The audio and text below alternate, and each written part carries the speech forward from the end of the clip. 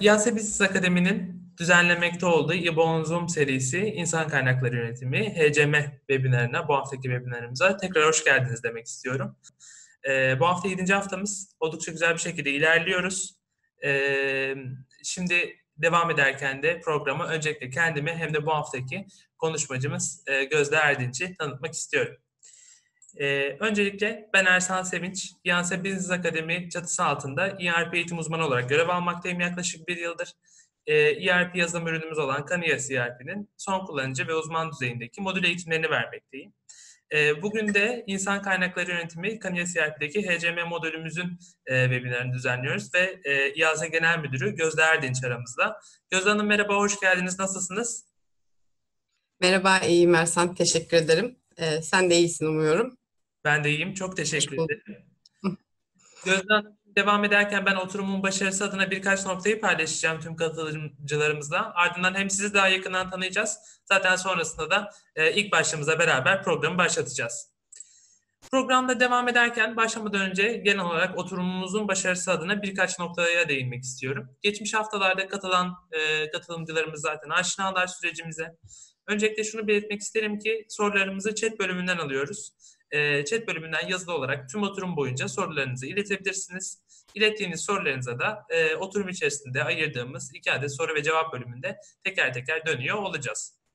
E, az önce de belirttiğim gibi oturum boyunca tüm katılımcılarımızın mikrofonları kapalı olacak. Sadece Gözde Hanım ve benim şu anda açık. Evet. Bunu da yapma nedenimiz seslerin karışması. Çok fazla katılımcının mikrofonu açık olduğunda sesler karışıyor. Bir yandan chat bölümüne bakıyorum. E, ses gelmiyor şeklinde mesaj atanlar var. E, sizden ricam ses ayarlarınızdan mikrofon ve hoparlör seçiminizi yaptığınızdan emin olun. Ekranlarınızda mikrofon şeklinde bir e, işaret göreceksiniz. Oradaki sağ taraftaki kulaklık e, kulakçıktan e, hem mikrofonunuzu hem de hoparlörünüzü seçebiliyorsunuz. E, çünkü genel olarak bir problem olduğunu düşünmüyorum. Sonrasında devam ederken yine de e, merak edenler için şunu da paylaşayım. Oturumumuz kayıt altına alınmakta. E, geçmiş haftalarda da olduğu gibi e, Kaniye CRP kanalımızdaki İBO Unuzum serisi oynatma listesine sonrasında bu haftaki HCM webinarımızda düzenlenip paylaşılacak. Eğer teknik bir problem varsa e, şu an chat bölümünde bazı e, anladığım kadarıyla bazı kişiler aksaklık yaşıyorlar. Belirtebilirsiniz. E, elimden geldiğince buradan yardımcı olmaya çalışacağım. E, veya eğer chat bölümüne doğrudan ulaşamıyorsanız e, böyle bir başka bir problem varsa da o noktada ibayet.kaniyasiyarp.com adresine e-posta ile ulaşabilirsiniz. E, ayrıca oturuma web sitem üzerinden e, kayıt olan tüm katılımcılarımıza da geçmiş haftalarda olduğu gibi e, webinarımızın değerlendirme anketini yayından sonra ileteceğiz. Şu ana kadar çok güzel dönüşler aldık sizlerden ki e, şu an 7. haftamızdayız. SCM webinarını düzenliyoruz ki Haziran programını bugün oturum sonunda paylaşacağım e, Haziran ayı içinde tüm webinarlarımız hazırlandı ve planlandı. Oldukça zengin ve çok e, güzel içeriklerimiz var Haziran ayı için. E, o yüzden geri dönüşleriniz bizim için çok değerli ve çok kıymetli. Hepsini tek tek inceliyoruz, hepsini değerlendiriyoruz. Lütfen bugünkü webinardan sonra da anketi doldurmayı unutmayın. Devam ederken yine bugün hemen akışından da bahsedeyim. Şu anda giriş bölümündeyiz. Şu anda hem katılımcı sayımızı takip ettiğime göre artıyor hem de bazı noktalara değiniyoruz programa başlarken. Bugünkü akış içerisinde de e, girişin ardından birazdan ben tekrar sözü hem Gözde Hanım'ı daha yakından tanımız, tanıdığımızda sonrasında sözü tekrar kendisine bıraktığımda ilk başta işten alım ve işten çıkışla ilgili e, 802 versiyondaki yeniliklerden zaten bugün ana teması 802 versiyonunda gelen yenilikler. Bununla bağlantı olarak bu başlık altında işe alım ve işten çıkışla ilgili e, noktalara değinecek Gözde Hanım. Sonrasında personel yönetimi altındaki gelişmeler, geliştirmeler, bordro yönetimi altındaki geliştirmelerden bahsedecek. Ve ardından ilk e, bölümümüzün soru cevabına geçeceğiz. Sizden aldığımız sorularla beraber chat bölümündeki. Sonrasındaki sonrasında kısa bir ara yapacağız. E, hem dikkatlerimizi tazelemek e, hem de e, ufak bir e, mola vermek adına bir 10 dakikalık bir aramız olacak. Sonrasındaki devam eden ikinci bölümümüzde de e, idari işler, performans yönetimi, eğitim yönetimi ve güncel geliştirmelerden Gözde Hanım bize bahsediyor olacak. Ardından tekrar oturumun sonuna doğru da e, bir soru cevap bölümü yapacağız. E, genel olarak webinarla ilgili yine sizden aldığımız chat bölümündeki sorularla beraber ve ardından tekrar bir sanal fotoğraf çekilip e, ben de Haziran ayının e, yeni webinarlarını paylaşırken oturumumuzu sonlandıracağız. Ee, bildiğiniz üzere webinarımızın düzenleyicisi olan İYASA Business Akademi sürekli gelişim misyonuyla beraber e, 2020'nin başına yeni bir yapılanmaya gitti. E, ve bu hızla ilerleyen çalışmaların bir sonucu olarak da webinar serimiz halihazırda devam ediyor. Ve öngördüğümüz kadarıyla da daha uzun süre devam da edecek. E, şu anda bu çalışmaların ürünlerinden birini şu anda gerçekleştiriyoruz. E, eğer İBA'yı size kısa, kısaca özetlemem gerekirse, İBA ana ürünümüz olan Kaniya CRP'nin e, modül eğitimlerini son kullanıcı ve uzman seviyesinde tüm müşterilerine ve öğrenmek isteyen herkese eğitimlerini vererek ERP'ye geçiş sürecindeki yaşanabilecek sancıları minimuma indirmeyi hedefliyor. Böylece eğitim alan son kullanıcı ve uzman kullanıcılar kurulum sonrasında canlıya geçerken hiçbir verim kaybı olmadan Kaniye CRP'yi aynı günde etkili bir şekilde kullanabiliyorlar ve iş süreçlerini artık tamamen dijital bir şekilde Kaniye CRP üzerinde yürütebiliyorlar. İBA, Kaniye CRP haricinde tam döngü, dijital dönüşüm, kendi yazılım dilimiz olan Troya, kendi veri tabanımız olan IaaSDB, Kaniye IQ, IoT gibi hem dijitalleşmeyi hem de kurumsallaşmayı sağlayan pek çok eğitimi de çatısı altında bulunduruyor ve talep eden herkese sağlıyor. Eğitimlerimizle ilgili, e, eğitim takvimimizle ilgili, içeriklerimizle ilgili hem de bunların ardından da talep oluşturmak için e, slaytta da şu anda paylaşmış olduğum web sitemizi ziyaret edebilirsiniz. Buradan detaylı bir şekilde hem eğitimlerimizi bahsettiğim gibi içeriklerini, takvimimizi inceleyebilirsiniz. Bize taleplerinizi iletebilirsiniz. Ki bu webinara kayıt olmak için zaten e, talep oluşturma bölümünü kullandınız. Aynı şekilde diğer eğitimler için de taleplerinizi iletebilirsiniz. Veya doğrudan bizlerle iletişime geçmek isterseniz de ibayet.kaniyesiyarp.com adresinden de e-posta yoluyla doğrudan bizlerle iletişime geçebilirsiniz. Ayrıca e, şu anda e, LinkedIn ve Instagram'da da, Instagram kanallarında da daha doğrusu e, aktif olarak yer alıyoruz. Bizim çalışmalarımızı takip etmek isterseniz kanaldan da e, takip edebilirsiniz. Son olarak da yine başlangıçta da belirttiğim gibi e, Kaniye CRP YouTube kanalımızda hem İAS'nin tüm çalışmalarının videoları hem de e, İBON Zoom serisi webinarlarımızın yayından sonraki e, yüklemelerini YouTube kanalımızda Kaniye CRP YouTube kanalımızda gerçekleştiriyoruz. E, buradan da geçmiş haftaları takip edebilirsiniz. Gözde Hanım, ben e, ilk başta giriş, e, giriş bölümündeki bahsedeceğim e, önemli noktaları paylaştım. E, o zaman isterseniz, eminim sizi şu an tanıyan pek çok katılımcımız var. Fakat bir de sizden e, dinleyelim. Kendinizi tanıtırsanız çok sevinirim. Tabii ki Ersem. E, merhaba, öncelikle hepiniz hoş geldiniz. E, ismim Gözde Erdinç. Yaklaşık beş buçuk yıldır İAS'de çalışıyorum. E, Yıldız Teknik Üniversitesi Matematik Mühendisliğinden mezun olduktan sonra bir yazılım şirketinde... E, küçük çaplı bir ERP programın tüm modülleriyle ilgili e, yazılım sektörüne adım attım. E, farklı birkaç firmada çalıştıktan sonra İAS'ye geldim e, ve şu anda sektörde 16. yılındayım. E, İAS'de kıdemli yazılım uzmanı e, ve insan kaynakları uygulamaları birim yöneticisi olarak e, çalıştıktan sonra e, Ocak 2020'den itibaren de e, genel müdür olarak görevime devam ediyorum. E, Kania CRP üzerinde e, insan kaynaklarına konu olabilecek uygulamaların geliştirilmesinden sorumluyum. Bugün de aslında insan kaynakları uygulamaları geliştirme bölümü olarak yeni versiyonumuzda geliştirdiğimiz yeni özelliklerimizi size aktarabildiğimiz faydalı bir sunum olmasını umuyorum ve herkese iyi seyirler diliyorum. Çok teşekkürler Gözde Hanım. Ben şimdi o zaman yine programla ilgili hem yeni katılanlar için de bir ana başlıkların üstünden geçeyim. Ardından zaten ilk başlığımızla beraber sözü tekrar size bırakacağım. Ee, devam ederken şimdi e, bugün e, insan kaynakları yönetimi Kaniye CRP'de HCM modülünü konuşuyoruz. E, Gözde Erdinç konuşmacı olarak aramızda İAS Genel Müdürü. E, bugün HCM ve 802 versiyonundaki yenilikleri bizlere aktarıyor olacak. E, bugün değineceğimiz ana başlıklarsa öncelikle personel yönetimi, bordro yönetimi, idari işler, performans yönetimi, eğitim yönetimi ve son olarak da e, zamanımıza bağlı olarak da güncel geliştirmelerden bahsedecek Gözde Hanım bizlere. Gözde Hanım o zaman ben e, personel yönetimi diyerek sözü sizlere bırakıyorum. E, hem katılımcılarımız adına hem de e, İAS Business Akademi adına e, katılımınız ve bu değerli bilgileri bizlerle paylaştığınız için çok teşekkür ediyorum. Yersan. Ee, benim ufak bir sıkıntım var başlamadan önce değinmek istiyorum. Ee, evet bu şeyi geçmem gereken okları şu anda görmüyorum. Ha. Şimdi ettim. Slaytları e, geçemiyorum şu anda.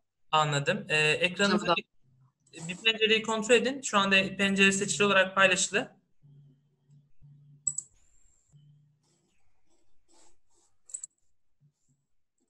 Şu anda ekranı siz yönetiyorsunuz tamamen. Tamam ben o zaman e, şey klavye tuşuyla geçiyor olacağım. Bir, bir deneme yapın isterseniz başlarken. E, emin olmak adına öyle başlayalım. Tamam, Tamam. peki. Bir Şu an bir saniye. problemimiz yok herhalde. Geri dönebiliriz. Tamam bir saniye. Tamam. Bir problemimiz yok herhalde. E, ben e, öncesinde test etmemişim kusura bakmayın. E, başlayabiliriz diye düşünüyorum. E, bildiğiniz gibi aslında HCM uygulamalarımız bizim e, personel yönetimi, e, bordro yönetimi, işe alım süreçleri, eğitim yönetimi, performans değerlendirme yönetimleri, self servis uygulamaları, izin yönetimi gibi uygular, uygulamalardan oluşuyor. Bugünkü webinarımızın konusu bizim HCM grubu olarak son bir buçuk iki yılda yaptığımız yenilikleri, geliştirmeleri sizinle paylaşıyor olacağız. Öncelikle aslında Ersan da az önce bahsetti. İşe alım, personel yönetimi ve bordro yönetimi gibi standart uygulamalardaki e, geliştirmelerimize bakacağız. E, ikinci olarak idari işler olarak isimlendirdiğimiz e, yeni uygulamalar grubumuz var. Bunların içeriğinden bahsediyor olacağız. E, hemen ardından eğitim yönetimi ve performans yönetimine değiniyor olacağız. Buradaki e, geliştirmelerimizi yine son bir buçuk iki yıldaki. E, ardından da aslında e, bildiğiniz gibi biz geçen sene e, 802 versiyonumuzu çıkarttık. Bu versiyonumuzda bizim çoğu modülümüzde e, kokpit uygulamalar geliştirdik. Bunlar aslında daha çok Kania CRP e, kullanıcılarının hayatlarını kolaylaştırmak, günlük e, işlerini e, desteklemek ya da planlamalarına yardımcı olmak amaçlıydı. E, biz de HCM grubu olarak bunları geliştirirken daha çok insan kaynakları profillerini dikkate almaya çalıştık. E, yeri geldikçe e, kokpit uygulamalarımızı da e, sizlerle paylaşıyor olacağım. E, çok detaya giremeyeceğim süreden kaynaklı olarak ama genel anlamda hepsinin amacını öğrenmiş olacağız. E, son olarak da e, vaktimiz kalırsa e, bizim bir süredir nasıl yeni geliştirmeler içinde olduğumuzu hızlıca paylaşmak istiyorum. E, bir sonraki e, geliştirmelerde neleri alabileceğinizi bilmenizi istiyorum. E, ipucu verebilirim. Bunlar da şu anda öneri e, bildirimleri uygulamasında çalışıyoruz. E, bir de seyahat yönetimi uygulaması hazırlıyoruz. Vaktimiz kalırsa en son bunlara da hızlıca değinmek istiyorum. E, isterseniz bir sonraki slaytla sunumumuza başlayabiliriz. Bir saniye. Evet. Ee, ilk grubumuz işe alım ve işten çıkış. Ee, burada e, maddeleri yazdım. E, hepsiyle ilgili e, kısa kısa bilgi vermek istiyorum aslında. Birincisi SGK işe giriş ve işten çıkışla ilgili web servisimizi yaptık. Hem sizlerin hem bizlerin aslında bir süredir beklediği bir web servisti. Daha önce sizlerden de talepler geliyordu. Nihayet SGK web servisini çıkarttı ve biz bunun uygulamasını hazırlayıp ilgili işten SGK işe giriş ve işten çıkış uygulamalarına buton olarak kullanılabilir şekilde ilave ettik. E, ara ara SGK tarafında e, bazı sıkıntılar olsa da e, biz bunları gördükçe müdahale ediyoruz. E, ama uygulamamız kullanıma hazır. E, ikinci olarak e, CV Bankası ile ilgili bir web servis hazırladık. E, bu bir e, XML e, üzerinden çalışan web servis. E, buradaki amacımız da aslında e, HCMT 12 CV Bankası'nı e, kullanan ya da kullanmak isteyen e, müşterilerimizin e, hızlıca kendi web sitelerinde dizayn ederek alabilecekleri bilgileri doldurtturarak e, formu e, içeriye e, almasını sağlamak şeklinde kullanılabilir. Ee, onun haricinde e, işe alım sihirbazımızda ve işten çıkış hareketlerimizde e, BPM entegrasyonu ekledik. E, bu şekilde de aslında siz bu süreçlerde işte e, kullanıcılar blokelensin, birilerine bilgi maili gitsin gibi süreçlerinizi BPM üzerinden e, tasarlıyor ve işletiyor olabilirsiniz. E, yine e, işe alımla ilgili e, bizim kadrolarımızda belirtilen bir e, o kadro için bir maksimum sayı e, mevcuttur. Bu sayının işe alımlarda kontrol edilmesini istediğiniz durumlar için bir parametre ekledik.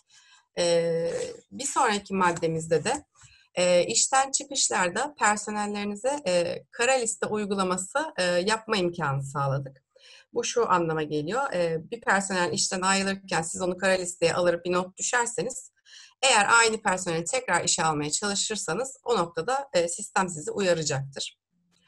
E, personel bütçesi uygulamalarını kullanan e, müşterilerimiz için yine e, işe alım siyer bazında e, dummy personel oluşturmak istiyorum diye işaretleyip istediğiniz sayıyı 10 olur, 20 olur belirtmeniz durumunda e, toplu bir şekilde e, dummy personellerinizi sistemde oluşturabilirsiniz verdiğiniz e, sicil kartı bilgileriyle. Daha sonra da bunlar için e, bordrolarınızı hesaplayıp zaten personel bütçesine ilave edebiliyorsunuz. Aynı konunun devamı olarak da işten çıkışlarda e, bu bütçe bordrolarının silinmesiyle ilgili ileri tarihli oluyor çünkü genelde bütçe bordroları e, hata e, ya da uyarı alabiliyordunuz sistemde. Bunları da sizden e, mesaj alarak sildirmek şeklinde e, yeni bir geliştirmemiz oldu sistem üzerinde. E, bir sonraki maddemiz aslında HCMT 24 e, kıdem tazminatları uygulamasında e, listeleme sırasında otomatik hesaplama ile ilgili bir durum. Belki bilirsiniz burada bir arama kriteri girmediğinizde kalabalık bir grup için kıdemleri hesapladığı için bir, bir süre uzun olarak uzun sürüyordu aslında uygulamanın açılması. Şimdi biz bunu kullanıcı bazında bir ayarla otomatik hesaplamasını engelleyip isteğe bağlı istediğiniz zamanlarda hesaplayacak geliştirmeyi tamamladık. Son olarak da işe alım ve işten çıkış süreçlerinizle ilgili sistemden artık ibraname çıktısı almamız mümkündür. Ee, bir sonraki grubumuz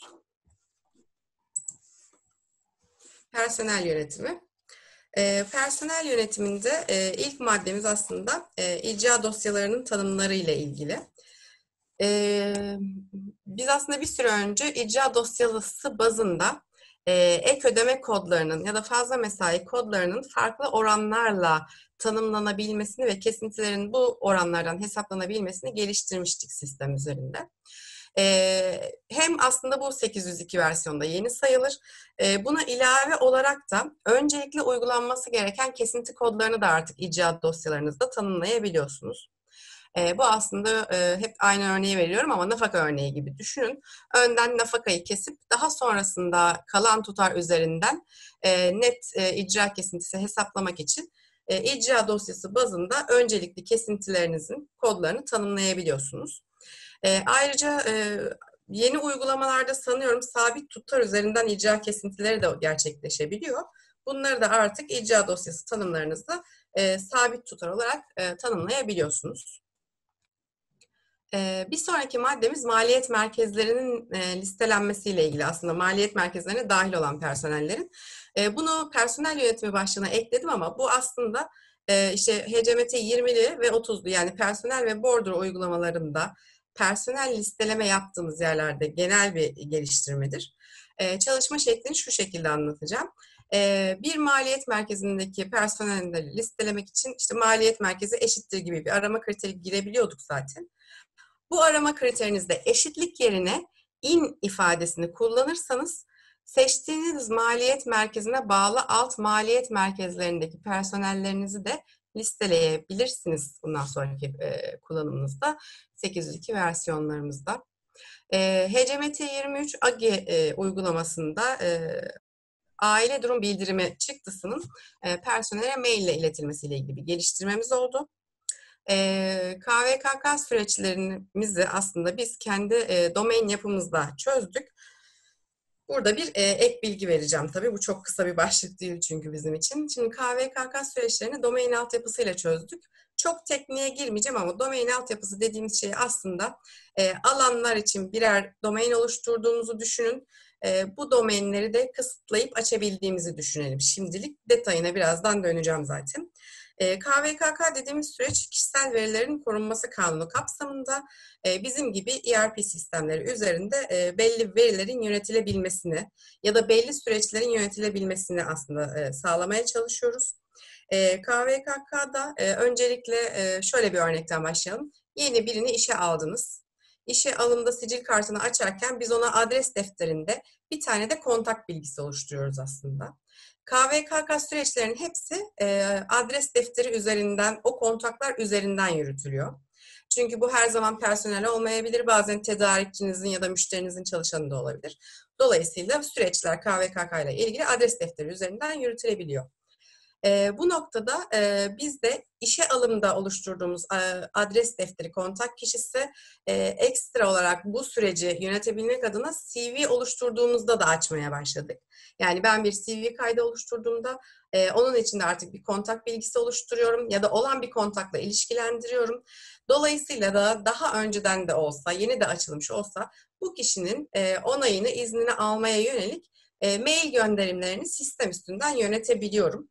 E, bazı e, eklentilerle de yani KVKK'nın kendi eklentileriyle de bunları takip edebiliyorum zaten. İşte bu e, kontakla onayını almış mıyım, o benimle verisini paylaşmış, özür dilerim paylaşmış mı diye.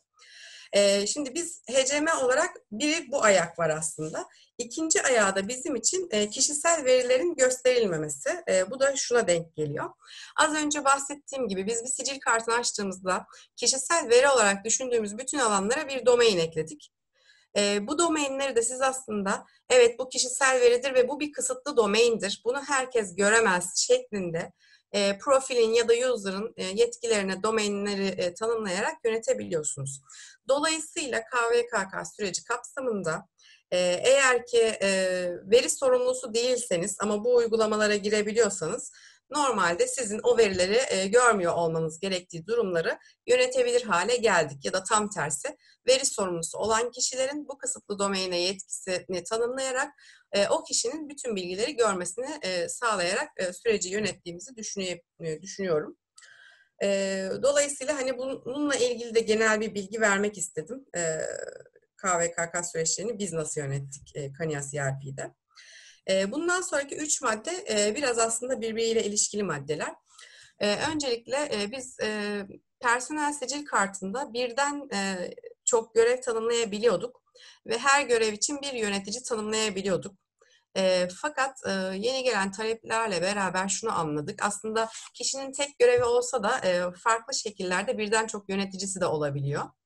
E, biz dolayısıyla e, daha önceden sistemde olan alanın e, adını idari yönetici olarak değiştirdik ve yanına üç tane daha alan ilave ettik. Bunlar teknik yönetici, raporladığı yönetici ve proje yöneticisi. Fakat e, benzer şekilde bunları da domainlerle ilişkilendirdiğimiz için biz bunlara bu isimleri verdik. Ama siz kendi domain tanımlarınızda bunları değiştirerek kullanıyor olabilirsiniz. E, işte raporladığı yönetici demezsiniz de şef dersiniz. Hani e, gözünüzde canlanması için örnek veriyorum aslında. E, bu şekilde biz artık tek görev için e, yöneticiye kadar bir tanım gerçekleştirdik sicil kartlarında. E, bunu yaptıktan sonra bizim bir geliştirmeye daha ihtiyacımız oldu aslında. O da HCMT 03'te e, tanımladığınız bir kadronun e, işte bir pozisyon departman ilişkisine kadro dersek e, o kadro için e, yöneticilerin bu dört title için bahsettiğim idari yönetici, teknik yönetici, raporladığı yönetici ya da proje yöneticisi için ilgili kadroda hangilerinin onun için yönetici olduğunu tanımlayabiliyorsunuz.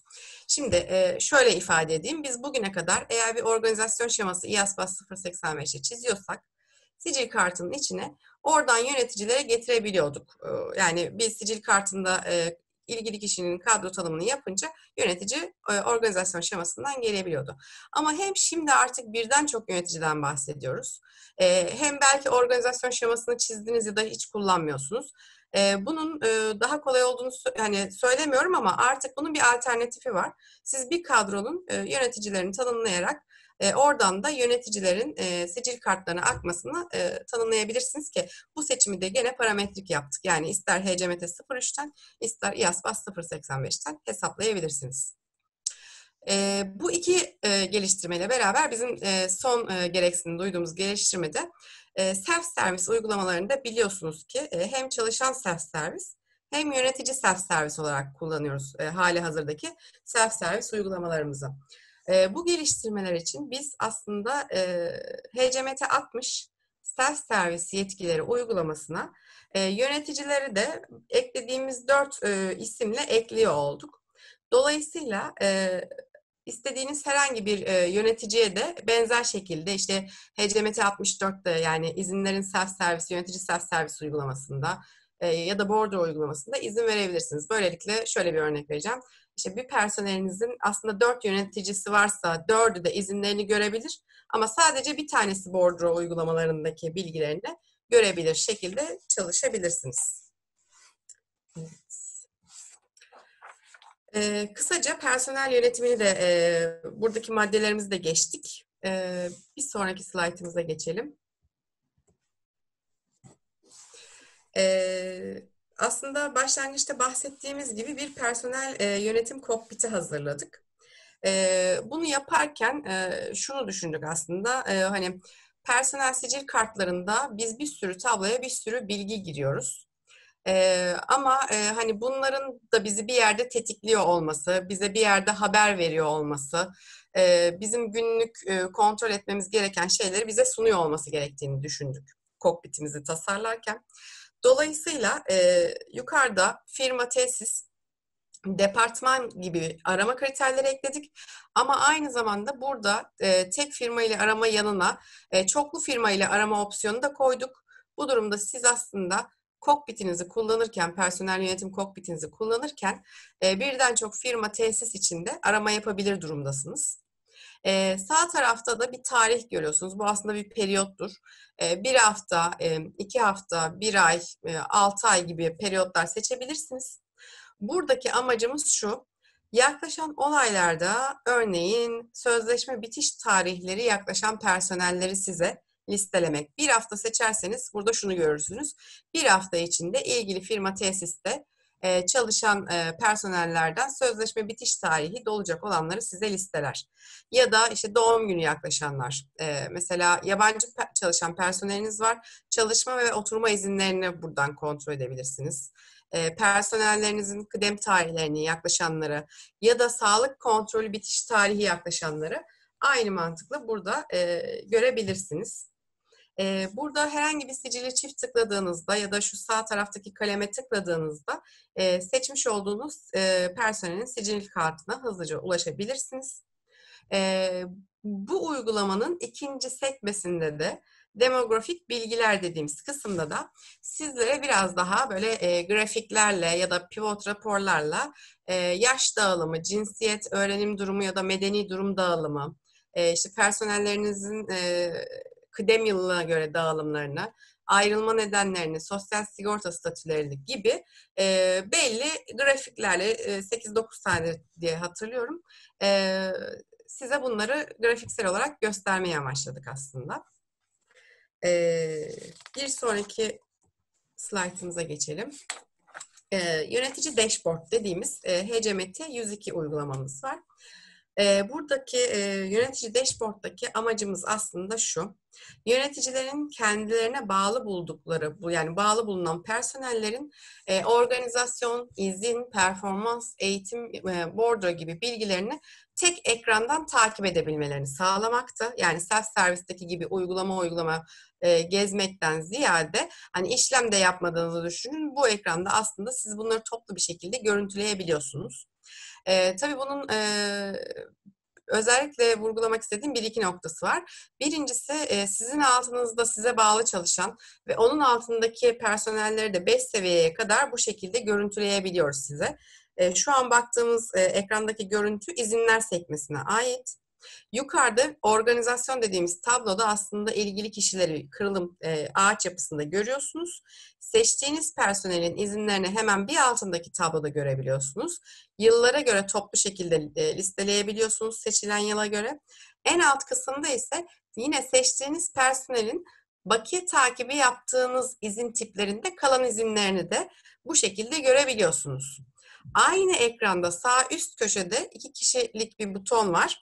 O butona bastığınız takdirde de e, burada size bağlı çalışan personellerin izinlerinin çakışmalarını takip edebileceğiniz bir izin çizelgesi oluşturduk.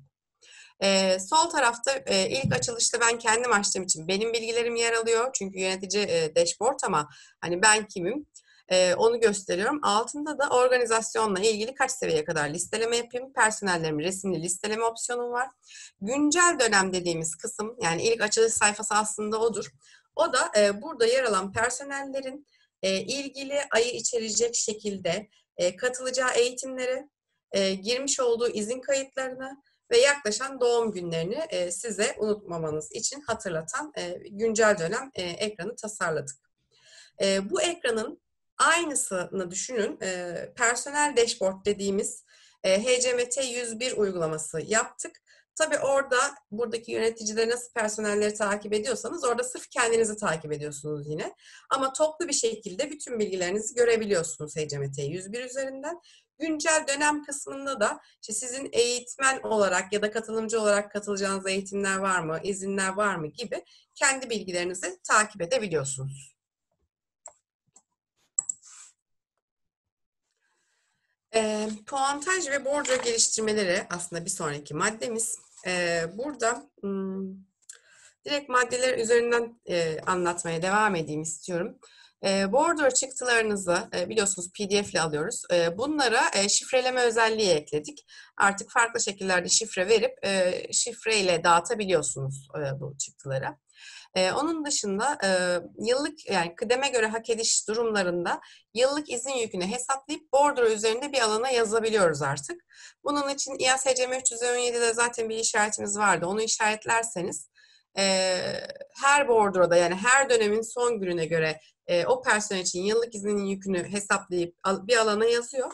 Dolayısıyla raporlamalarınızda takip etmesi, e, yani anlık takip edebilir oluyorsunuz bu şekilde. HCMT 62 e, bizim çalışan self servis dediğimiz mesaileri ve fazla mesaileri listelediğimiz self servis uygulamamız. Burada daha önceden personel yani çalışan sadece kendi bilgilerini görüntüleyebilirken yeni eklediğimiz özellikle artık kendisi için fazla mesai taleplerini oluşturabiliyor. Yine bunun için HCMT 60 yetkilerine bakmanızı, kontrol etmenizi tavsiye ederim. Fazla mesai talebinin girişi için oraya iki yetki ekledik. Bir tanesi girişe izin vermek için çalışan için yüksek ihtimal kullanılacak. E, ikincisi de e, bunların onaylarına izin vermek için belki de bunu yöneticiye açıyor olacaksınız. E, ama hani iki yetkimiz var kontrol edilmesi gereken. Hmm, bir sonraki uygulamamız HCMT 32 TA ismini verdiğimiz zaman ve katılım uygulaması. Burada zaman ve katılım uygulamasında aslında biz şunu hedefledik. Kartlı ya da işte parmak izli bir PDKS sisteminiz var. Bizim daha önceden bunları sistem üzerinde tutabilecek tablolarımız yoktu. Öncelikle zaman tablosu dediğimiz bir tablo oluşturduk. Sizin PDKS verilerinizi artık Kanias üzerine de atabileceğiniz bir tablomuz mevcut. Bunlar için çeşitli formatlarda web servisleri de hazırladık. E, ikinci uygulamamız aslında katılım uygulaması. Katılım dediğimiz şey e, bir personel için bir günlük veri olduğunu düşünün. E, isterseniz bunu PDKS'yi yorumlayarak oluşturmaya çalıştık. İsterseniz de siz PDKS sisteminizde zaten ya zamanlarla ben çok ilgilenmiyorum. Benim zaten günlük özet bir verim var her personel için. Ben daha sizin sisteme aktarıma bu aşamadan başlayayım derseniz e, zaman e, tablolarını sistemle e, doldurmak yerine katılım tablolarından da sisteme dahil olmaya başlayabilirsiniz. E, dolayısıyla ister hem zaman hem katılım, isterseniz sadece katılım tablosu doldurarak atabilirsiniz bilgilerinizi. Nihai varmaya çalıştığımız nokta bunlardan da e, puantajının oluşturulması noktası. E, bunu biz henüz yayınlamadık. E, testin artık son zamanlarında testleri tamamlandıktan sonra paylaşıyor olacağız. E, ama artık e, bu şekilde bir uygulamamız e, sistem üzerinde olacak.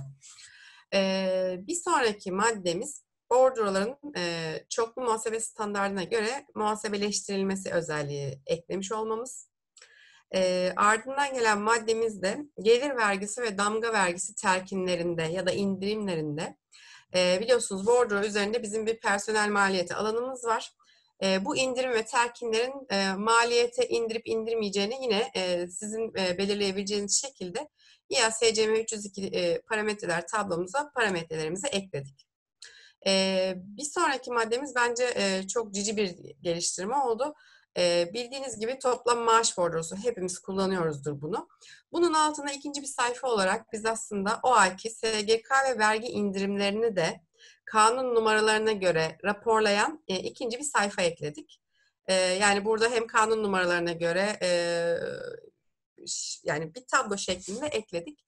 E, bence güzel bir uygulama oldu. E, en alttaki maddemiz de aile bilgileri için e, artık e, ilişkiyi çocuk seçtiğiniz zaman e, doğum tayini zorunlu hale getirdik. Çünkü bir sürü yerde kontrolleri var. E, aynı şekilde e, çocuk olduğu durumlarda okul bitiş tarihi alanı ilave edip AGI kontrollerinde bunu da dikkate aldık. Evet. Bir sonraki e, sayfamızda bordro yönetim kokpitini görebilirsiniz. E, burada uygulamamızın adı HCMT 107. E, bildiğiniz gibi bordro dediğimizde aslında bordronun içeriğine e, işte ödemeler, e, işte ücret, mesailer, fazla mesailer, izinler hepsinin toplamı bordroyu oluşturuyor. Buradaki amacımız da yine size verdiğiniz kriterler doğrultusunda bordroları e, raporlamak ve bir takım belki yorumlamanıza yardımcı olmak. yani eksik olduğunu düşündüğümüz ya da işinize yarayacağınızı düşündüğümüz grafikleri ve raporlara eklemeye çalıştık sürekli olarak. yine yukarıdaki arama kriterlerinden başlayacağım. Firma, tesis, bölüm kodu, bordro grubu, bordro kodu ve bordro yılı belirtebilirsiniz. Buradaki raporlamalarımızın hepsi aslında bir yıl için hazırlanıyor. Bordro grubu hariç diğerlerini isteğe bağlı seçebilirsiniz. Sol taraftaki sekmeler seçtiğiniz arama kriterlerine göre yaptığınız aramanın sonucundaki bazı sayısal toplamları ya da ortalamaları göstermekte. E, bu sekmelerin ne olduğunu alttaki listeden okuyacağım hızlıca. E, ilk sekmemiz bordrolar sekmesi. Burada biz e, bordro maliyetlerini hem toplam hem ortalama verecek şekilde görebiliyoruz. E, İkinci sekmede izin çizelgelerine yine bütün e, seçtiğimiz personeller için bakabiliyoruz. E, ya da izin dağılım grafiklerini verebiliyoruz size. E, mesailer ve fazla mesailerde dönemsel mesai ücretlerini ve dönemsel fazla mesai ücretlerini gösteriyoruz ama bu sekmede ekstradan son 9-10 yılda gerçekleşen yıllara göre fazla mesai saatlerini ve ücretlerinin karşılaştırmasını grafik olarak sunduk sizlere. Ee, onun dışında e, ödemeler sekmesinde bordrolarınızın üzerinde gerçekleşen işte en çok verilen ödeme tutarları, en çok yapılan kesintiler. E, bunları hem yine grafik olarak sunduk, e, farklı arama modelleriyle ödeme analizi oluşturduk sizler için. E, teşvik toplamlarını ve teşvik dağılımlarını gösterdiğimiz bir sekme ekledik gene. E, son e, bilgi sekmemizde de yıl özeti olarak aslında şu bordronun sağdaki ön izleme kısmındaki alanları düşünün mesela. Onların seçtiğiniz arama kriterlerine göre olan toplamlarını size gösterdik ki bu yılın toplamında aslında gerçekten hani neyi nasıl gerçekleşmiş e, görebilelim diye. Şimdi burada dikkatinizi çekmiştir. E, bazılarının yanında yıldız işaretleri var. E, bu yıldız işareti olan başlıklar aslında kendi içlerinde e, bizim tarafımızdan konfigüre edilmiş e, hazır pivot raporlar içeriyor anlamı taşıyor. E, şu an gördüğümüz ekranda şöyle tarif edeceğim. E, sağ üst köşede e, küçük iki tane renkli butonumuz var. Birinde Excel, birinde tablo var. E, bu aslında tablo ile pivot arasında gidip gelen, e, yani tablo özelliğinin altında da var ama daha belirgin olsun diye küçük butonlar koyduk buraya. E, Excel'e basarsanız size e, pivot görüntüsünü, tabloya basarsanız size bu ekranı tekrar açacaktır. E, bir notlarıma bakacağım. Mesela buradaki pivotlarda biz e, maliyet, teşvik, brüt ücretler gibi e, alanların departman ve periyotlara göre dağılımlarını koymuşuz pivot raporlara. E, bunun üstünde de işte personel e, sınıflama, e, personel durumları, ücret sınıfları gibi alanları da filtre olarak koyduğumuzu hatırlıyorum yine. Bu şekilde aslında e, hani neye ihtiyaç duyabileceğinizi tahmin ederek e, günlük işlemlerinizde de olur, yıl sonu tahminlerinizde de olur. E, bu şekilde bordro yönetim kokpitini tasarladık. E, bir sonraki e, sunumumuzda geçemedim galiba bir dakika. Evet. E, bu sunumumuzda e, sizlere bahsetmek istediğim e, kısım aslında muhasebe entegrasyonu yöntemleri. E, burada da bizim oldukça geliştirmelerimiz oldu. E, önceki durumla şimdiki durumu kıyaslayarak başlayacağım. E, daha önceden burada üç seçeneğimiz vardı muhasebe entegrasyonu. E, belki aramızda bilmeyenler vardır. Çok hızlıca anlatayım. E, maliyet merkezlerine ya da projelere göre aslında bordroları, hesaplı bordroları muhasebeleştirme kısmında neye göre dağıtım yapmak istediğimizi belirliyoruz burada. E, ve de e, oranlarımızı da belirlediğimiz tablolar oluşturmaya çalışıyoruz. E, daha önceki duruma döner, dönecek olursak daha önceden biz sadece normal seçeneğimiz vardı. Günlük puantajdan maliyet merkezi ve objesi bazında entegrasyon seçeneğimiz vardı. Bir de sağ tarafta maliyet merkezi dağılım tablosuna göre entegrasyon seçeneğimiz vardı. Ee, şimdi biz öncelikle günlük puantaja dönelim. Günlük puantajda biz bir süredir zaten tablo üzerinde e, o gün hangi proje için çalıştığınızı proje kolonuna yazabiliyoruz. Aynı maliyet merkezi gibi. Dolayısıyla günlük puantajdan entegrasyon yöntemlerini direkt 3'e çıkarttık. Eskisi gibi maliyet merkezine göre atabilirsiniz direkt e, projeye göre sadece atabilirsiniz ya da proje ile maliyet merkezlerinin e, kartezyen çarpımına göre atabilir durumdasınız artık. Eğer e, günlük puantaj kullanmıyor da olabilirsiniz tabii. Aylık da kullanıyor olabilirsiniz. E, bu gibi durumlar için zaten daha önceden e, HCMT 32'de biz ayrı bir tablo e, eklemiştik. Maliyet merkezi dağılım tablosu diye bayağıdır var. E, bu tablo üzerine girdiğiniz değerlerle size bir dağılım sağlıyorduk bugüne kadar. Şimdi e, benzer durumları e, yönetebilmek için e, şöyle bir şey yaptık. E, bir tane proje dağılım tablosu ekledik. Şimdi örneğin e, bir personel e, bir tarihte yani bir günde en tane farklı proje için e, çalıştığı durumlarınız da olabilir. O zaman ne olacak? Siz günlük puantajda tek proje size yetmiyor olacak. Belki bunu farklı şekillerde doldurup tutmaya çalışıyorsunuz.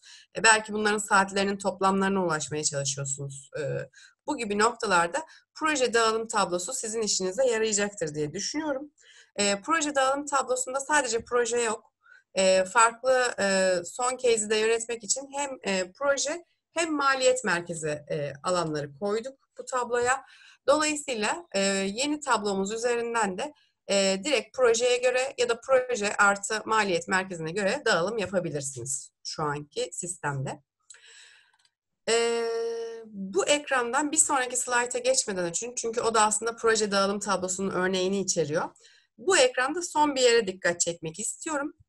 Görüntü çok net olmasa da tarif edeceğim biraz size.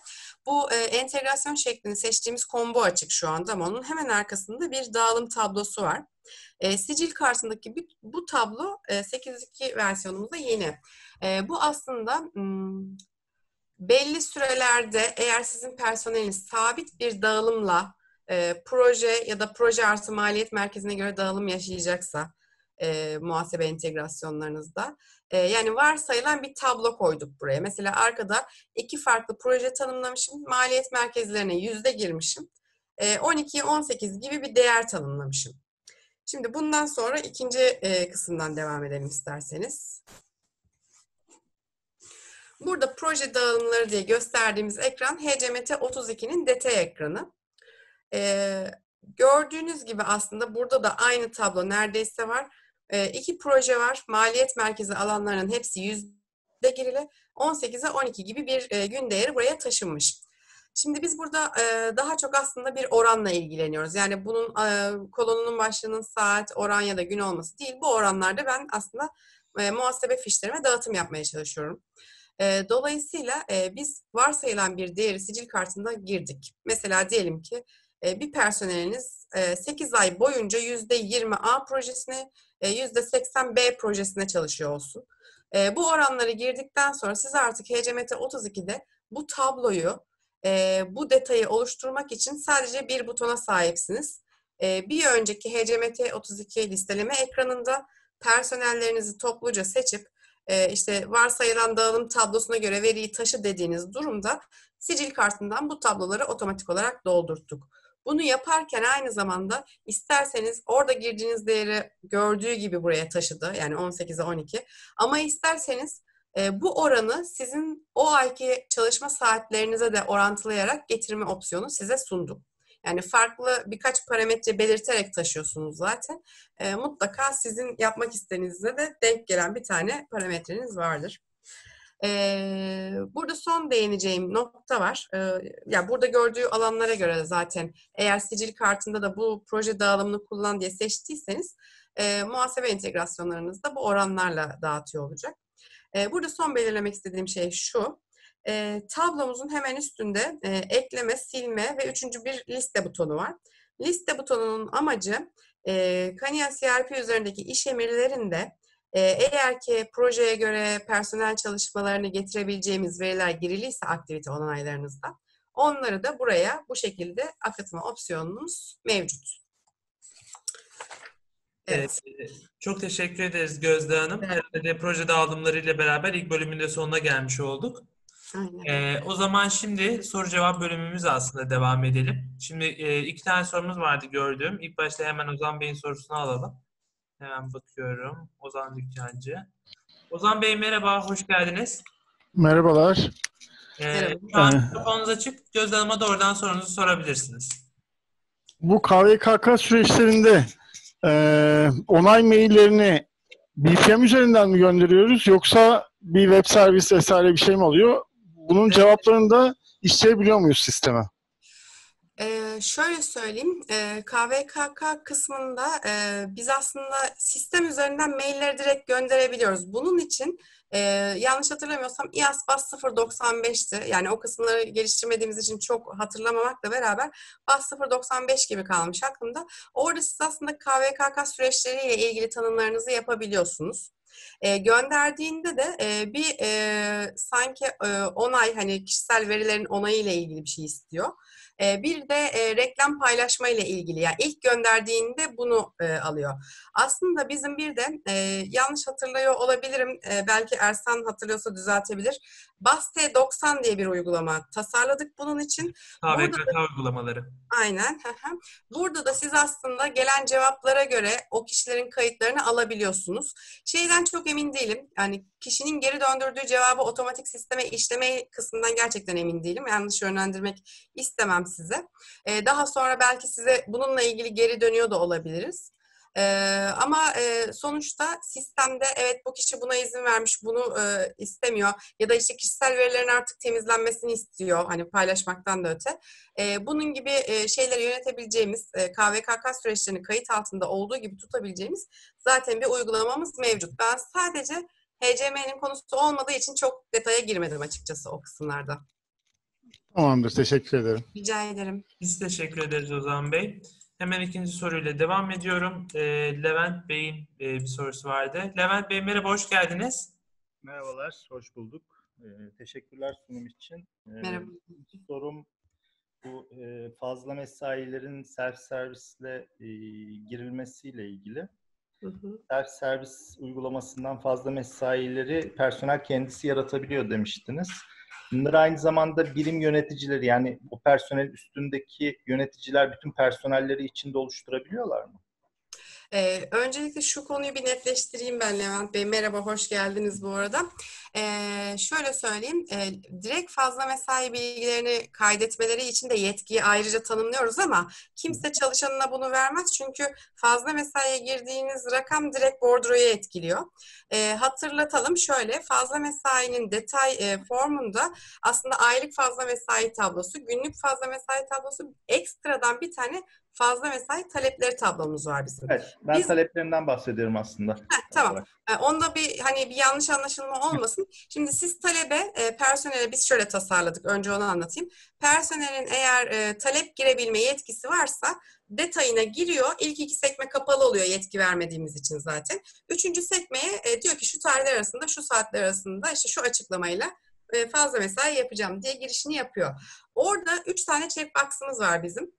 E, onaylandı. Onaylandıktan sonra aktif hale gelen e, izin havuzuna aktar ya da bordroya aktar.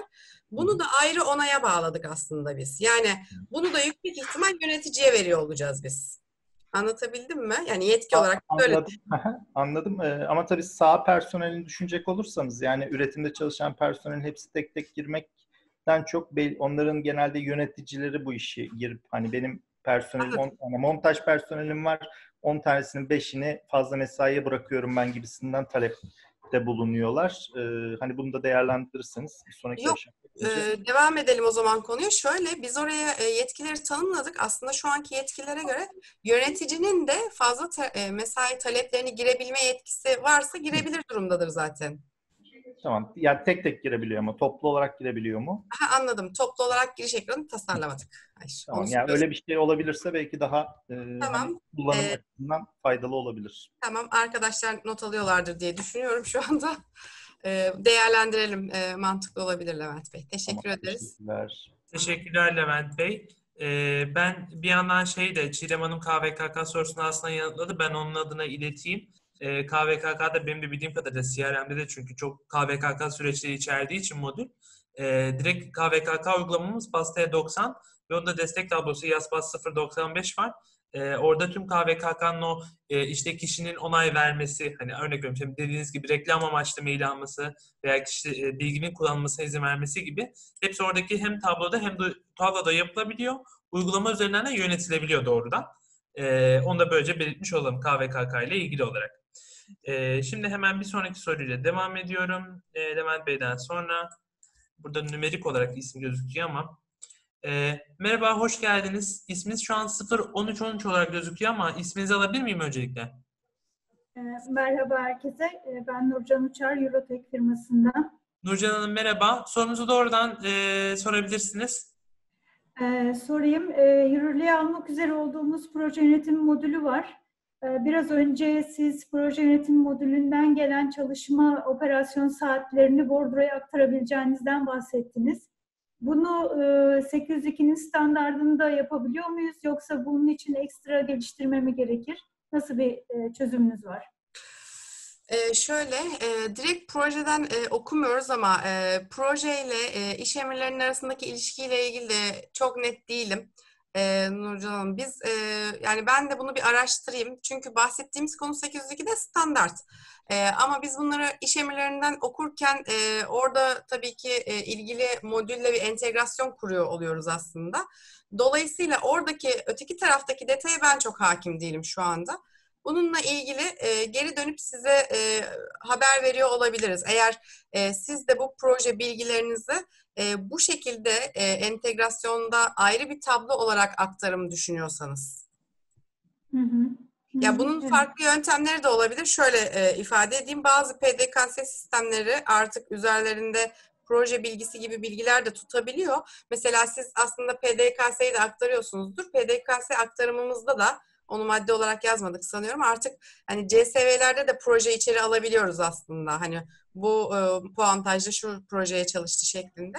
E, hani başka yöntemleri de olabilir ama ben bunu araştırıp size geri dönmeye çalışayım.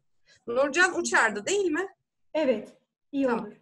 Tamam. Nurcan Hanım e, iletişim bilginizi bize şeyden özel olarak bana da mail, e, burada chat bölümünden yazabilirsiniz. Böylece size kesinlikle e, dönüş sağlarız konuyla ilgili olarak. E, Tamam. Çok teşekkür ederim sorunuz için de. E, Nurcan Hanım'ın ardından da hemen bakıyorum. E, bir Canan Hanım'ın bir sorusu varmış. E, Canan Yurteli. Evet. E, mikrofonu açalım. Fakat şu anda açamıyorum. E, Canan Hanım herhalde, e, eğer sesimi alıyorsanız mikrofonunuzu açabilir misiniz? Galiba e, kısıtlama getirmişsiniz. O yüzden ben buradan açamıyorum. E, tepki vermiyor.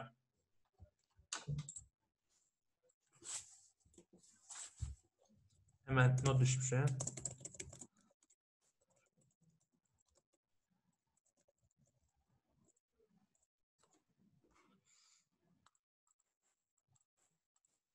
Yok şu anda açamıyorum. Tamam bir sonraki soruyla devam edelim. Canlı adıma birazdan döneceğiz o zaman. Ee, Nazan Hanım'ın bir sorusu var. Ee, bakalım Nazan Zengin. Ee, Nazan Hanım merhaba hoş geldiniz. Merhaba, hoş bulduk. Buyurun sorunuzu doğrudan e, Gözde Hanım'a sorabilirsiniz. Ee, az önce mesai taleplerini açabileceğimiz bir ekrandan bahsetti bir arkadaşımız. Bu ekranın hangisi olduğunu söyleyebilir misiniz? E, merhaba Nazan Hanım, e, hoş geldiniz. Bu fazla mesai taleplerinin girişiyle ilgili olanı soruyorsunuz? Evet, E, HCMT 62 e, aslında mesailer e, self servistir. E, hem çalışan self servis hem yönetici self servis olarak çalışıyor ama uygulamamızın adı HCMT 62. Bir de bunun yetkilendirmesi için e, yetkili birinin HCMT 60'ta self servis yetkilerini ayarlıyor olması lazım. Anladım. Teşekkür ediyorum, sağ olun. Rica ederim. Teşekkürler. Biz teşekkür ederiz sağ olun. Hemen bir sonraki soruya geçiyorum. Sinem Hanım'ın. Sinem Hanım merhaba. Sinem Hanım merhaba.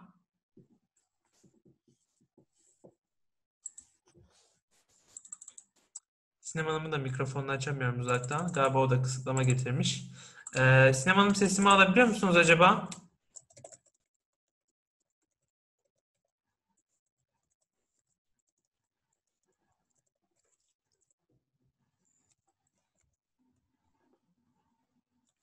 Anladım, tamam.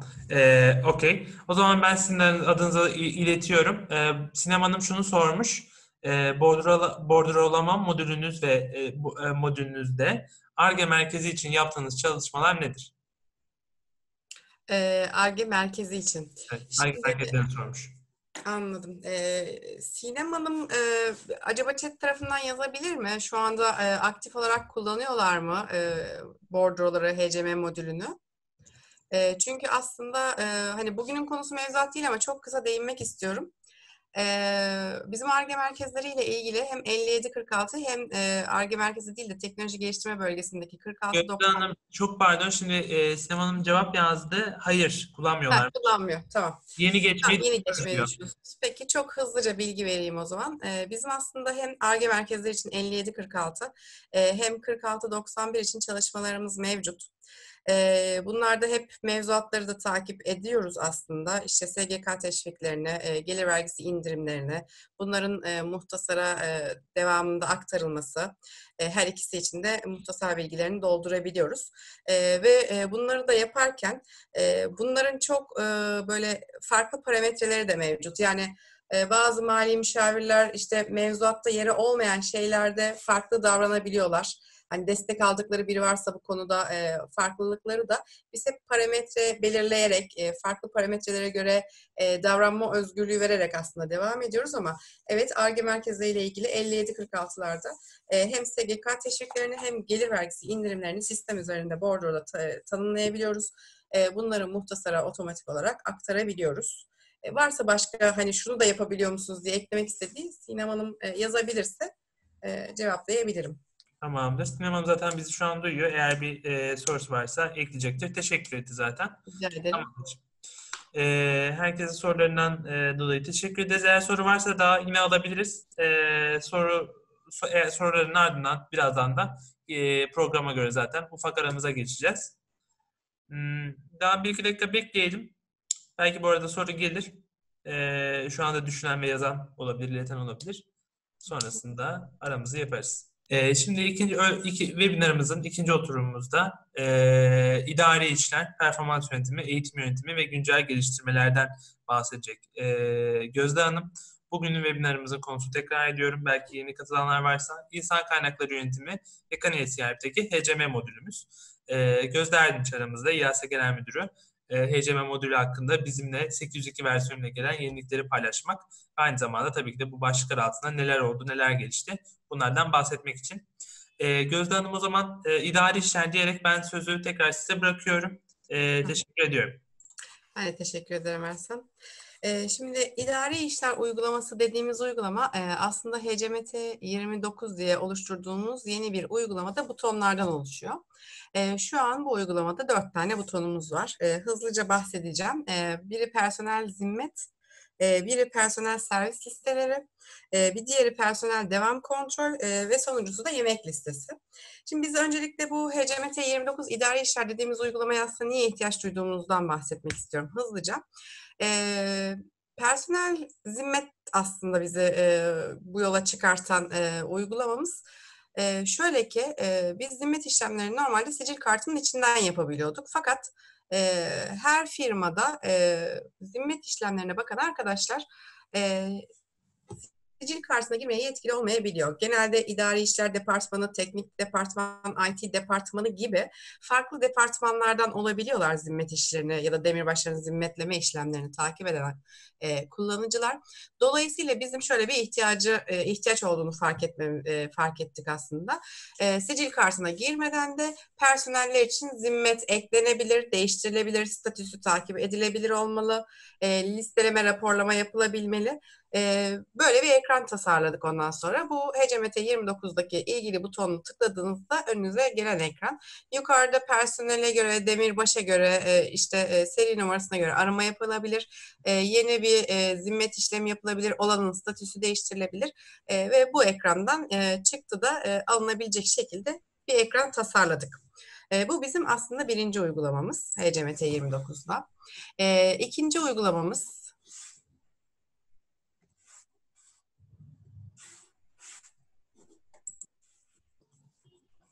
Bir dakika ben hemen e, kontrol edeyim ekran yönetimini. Şu an yönetebiliyor olmanız gerekir. Evet. İkinci uygulamamız da personel servisleri, e, yani servis listeleri. Burada da aslında bildiğiniz gibi bizim sicil kartımızın içinde e, bir destek tablosundan dolan e, şirkete e, gelişte ve dönüşte kullanılan servis ve e, indiği bindiği e, durak bilgisi tutulmakta zaten. Yine benzer mantıkla biz bunları daha önce başka bir yerde raporlamıyorduk da servis listesi olarak ama sicil kartına da girmesine gerek kalmadan servis listelerinin hazırlanabilmesi için yukarıdaki yine arama kriterleriyle işte servisi seçebilirsiniz. Firmayı, güzergahı seçebilirsiniz.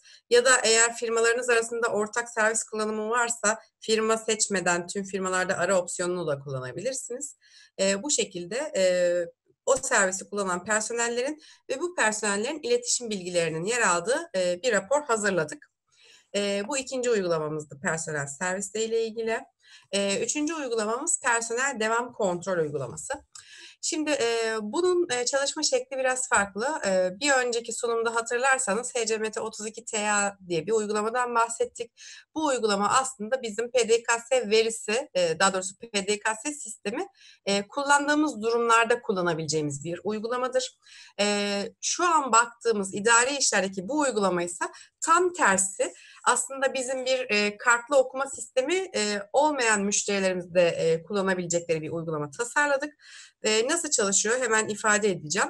Personelin belli bir tarihte ofiste olup olmayacağını tahminini size için e, aslında e, varsayılan e, değer olarak ilgili tarihte, ilgili mesai tarihinde hazırlar. Neye bakar?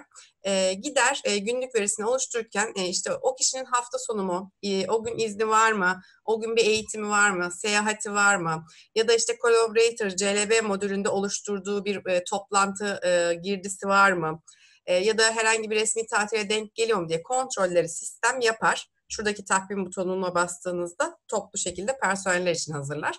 E, bu da aslında sabah e, birinin gelip bu butonu topluca tıkladıktan sonra kimin dışarıda olma olasılığı var, kimin ofiste olması gerekiyor gibi bir liste çıkarıyor karşınıza. Daha sonrasında ister sekreterya ister başka bir personel profili de olabilir bu.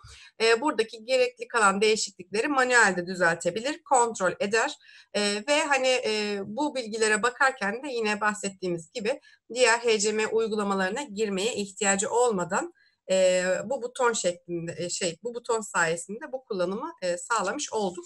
E, yine bahsettiğim gibi aslında burada tamamen kartlı okuma sistemi olmayan müşterilerde e, katılım e, verisini sistemde tutmaya yönelik bir geliştirme olarak kabul edebiliriz. Ee, sonuncusu e, yemek menüsü. İdari işlerdeki son butonumuz yemek menüsüne açılıyor. Ee, burada bizim tabii ki amacımız tesis bazında birden çok öğün için tarihlerdeki yemek listelerini sistemde tutabilmek. Ee, bunu tuttuğumuz zaman e, ne yapabiliyoruz? Aslında Kania CRP kullanıcıları oldukları ekranda e, Ctrl E'ye basarak biliyorsunuz eklentilere ulaşabiliyorlar. E, bu eklentilerden birisi artık yemek menüsü eklentisi. Buna bastıklarında da e, ilgili oldukları günün tarihi otomatik geliyor. Menüde seçerek o gün yemekte ne varmış diye e, bunlara bakabiliyorlar. Bir tarih için bir tesiste birden çok menü tutabiliyoruz. Farklı vardiyalar olabilir. iki öğün, üç öğün çıkarıyor olabilir fabrika. E, bunları da yönetebilmeniz için e, o, bunlara uygun şekilde tasarladık. E, son olarak aslında e, gelen datayı da yani size yemek listesi olan da, e, olarak gelen datayı içeri atmanız için de bir ekran tasarladık. Direkt dış ortamdan Excel vesaire e, gibi bir ortamdan kopyala yapıştır ve kaydet şeklinde hızlıca e, kayıt altına alabilirsiniz. Yemek listelerinizi de. Sonra da bunlara eklenti olarak kullanıcılar e, bugün yemekte ne varmış diye merak ettiklerinde bakabiliyorlar. E, aslında idari işlerle ilgili bahsedeceğimiz kısım e, bu kadar. Bir sonraki konumuz performans yönetimi. Ee, hazırsak buraya başlayalım. Şimdi biz e, burada da aslında baktığımız zaman son e, bir buçuk belki iki yılımızı alan e, sürekli yavaş yavaş geliştirdiğimiz e, ve esas hedefimizin 360 derece performans değerlendirme olduğu bir uygulamamız var artık bizim. E, nelere dikkat ettik ya da hedefimiz neydi? Aslında şuydu. Daha önceki değerlendirme ekranlarımızda hemen kıyaslama olsun diye bu, bu şekilde başlayacağım. Daha önceki değerlendirme ekranlarımızda değerlendiriciler diğer e, değerlendiricilerin işte puanlarını da görebiliyorlardı. Bir sürü farklı alanı da görebiliyorlardı. Öncelikle 360 derecedeki o objektif değerlendirmeyi sağlayabilmek için biz alanların çoğunu kapatıyor olduk artık. Sadece değerlendirici kendisiyle ilgili ya da görmesine izin verilen yetki e, tanımlanan kısımları görebiliyor olacak. Onun dışında fazladan hiçbir şey görmüyor olacak. E, görüntüleme matrisi tam da bu izinlerle ilgili aslında.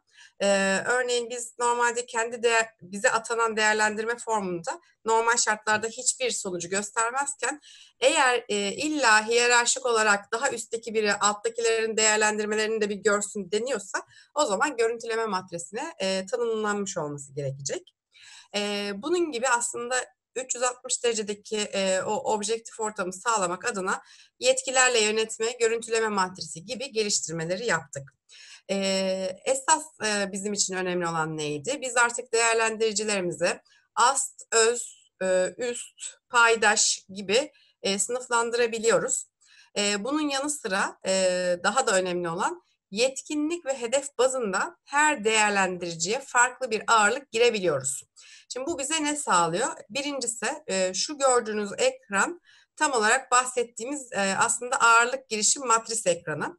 Yukarıda değerlendiriciler var 3 tane. Bunların genel olarak ağırlıkları girilmiş olsa da hedefler ve yetkinlikler için alt kısma topluca aktarmak için üstteki tabloyu kullanabilirsiniz. Ama bunun dışında alttaki tabloda değerlendiriciler kolon olarak geri, gelir. Sarı satırlar hedeflerdir. Mavi satırlar yetkinliklerdir. Siz hangi yetkinlik ya da hedef için hangi değerlendiriciye kaç puan verdiğinizi buradaki matrise girerek değiştirebiliyorsunuz. E, tam okunmuyor olabilir. En üst satırdaki hedefi ortadaki değerlendiriciyi %100 ağırlıkla değerlendirirken e, sağındaki ve solundaki arkadaşlara yüzde sıfır ağırlık verilmiş. Bu şu demek oluyor. E, bu diğer iki arkadaş bu hedefi kendi değerlendirme formlarında artık hiç görmeyecekler. Çünkü onları ilgilendiren bir değerlendirme maddesi değil. E, dolayısıyla e, bu oldukça kritik ve esnek bir yapı sağlıyor bize. Hedefler ve yetkinlikler bazında değerlendiricilere farklı ağırlıklar tanımlayabiliyoruz. E, bir sonraki maddemiz HCMT 6B değerlendirme uygulaması. Şöyle e, hatırlayalım. HCMT 6A diye bir uygulamamız var. Daha önceden kullandığımız.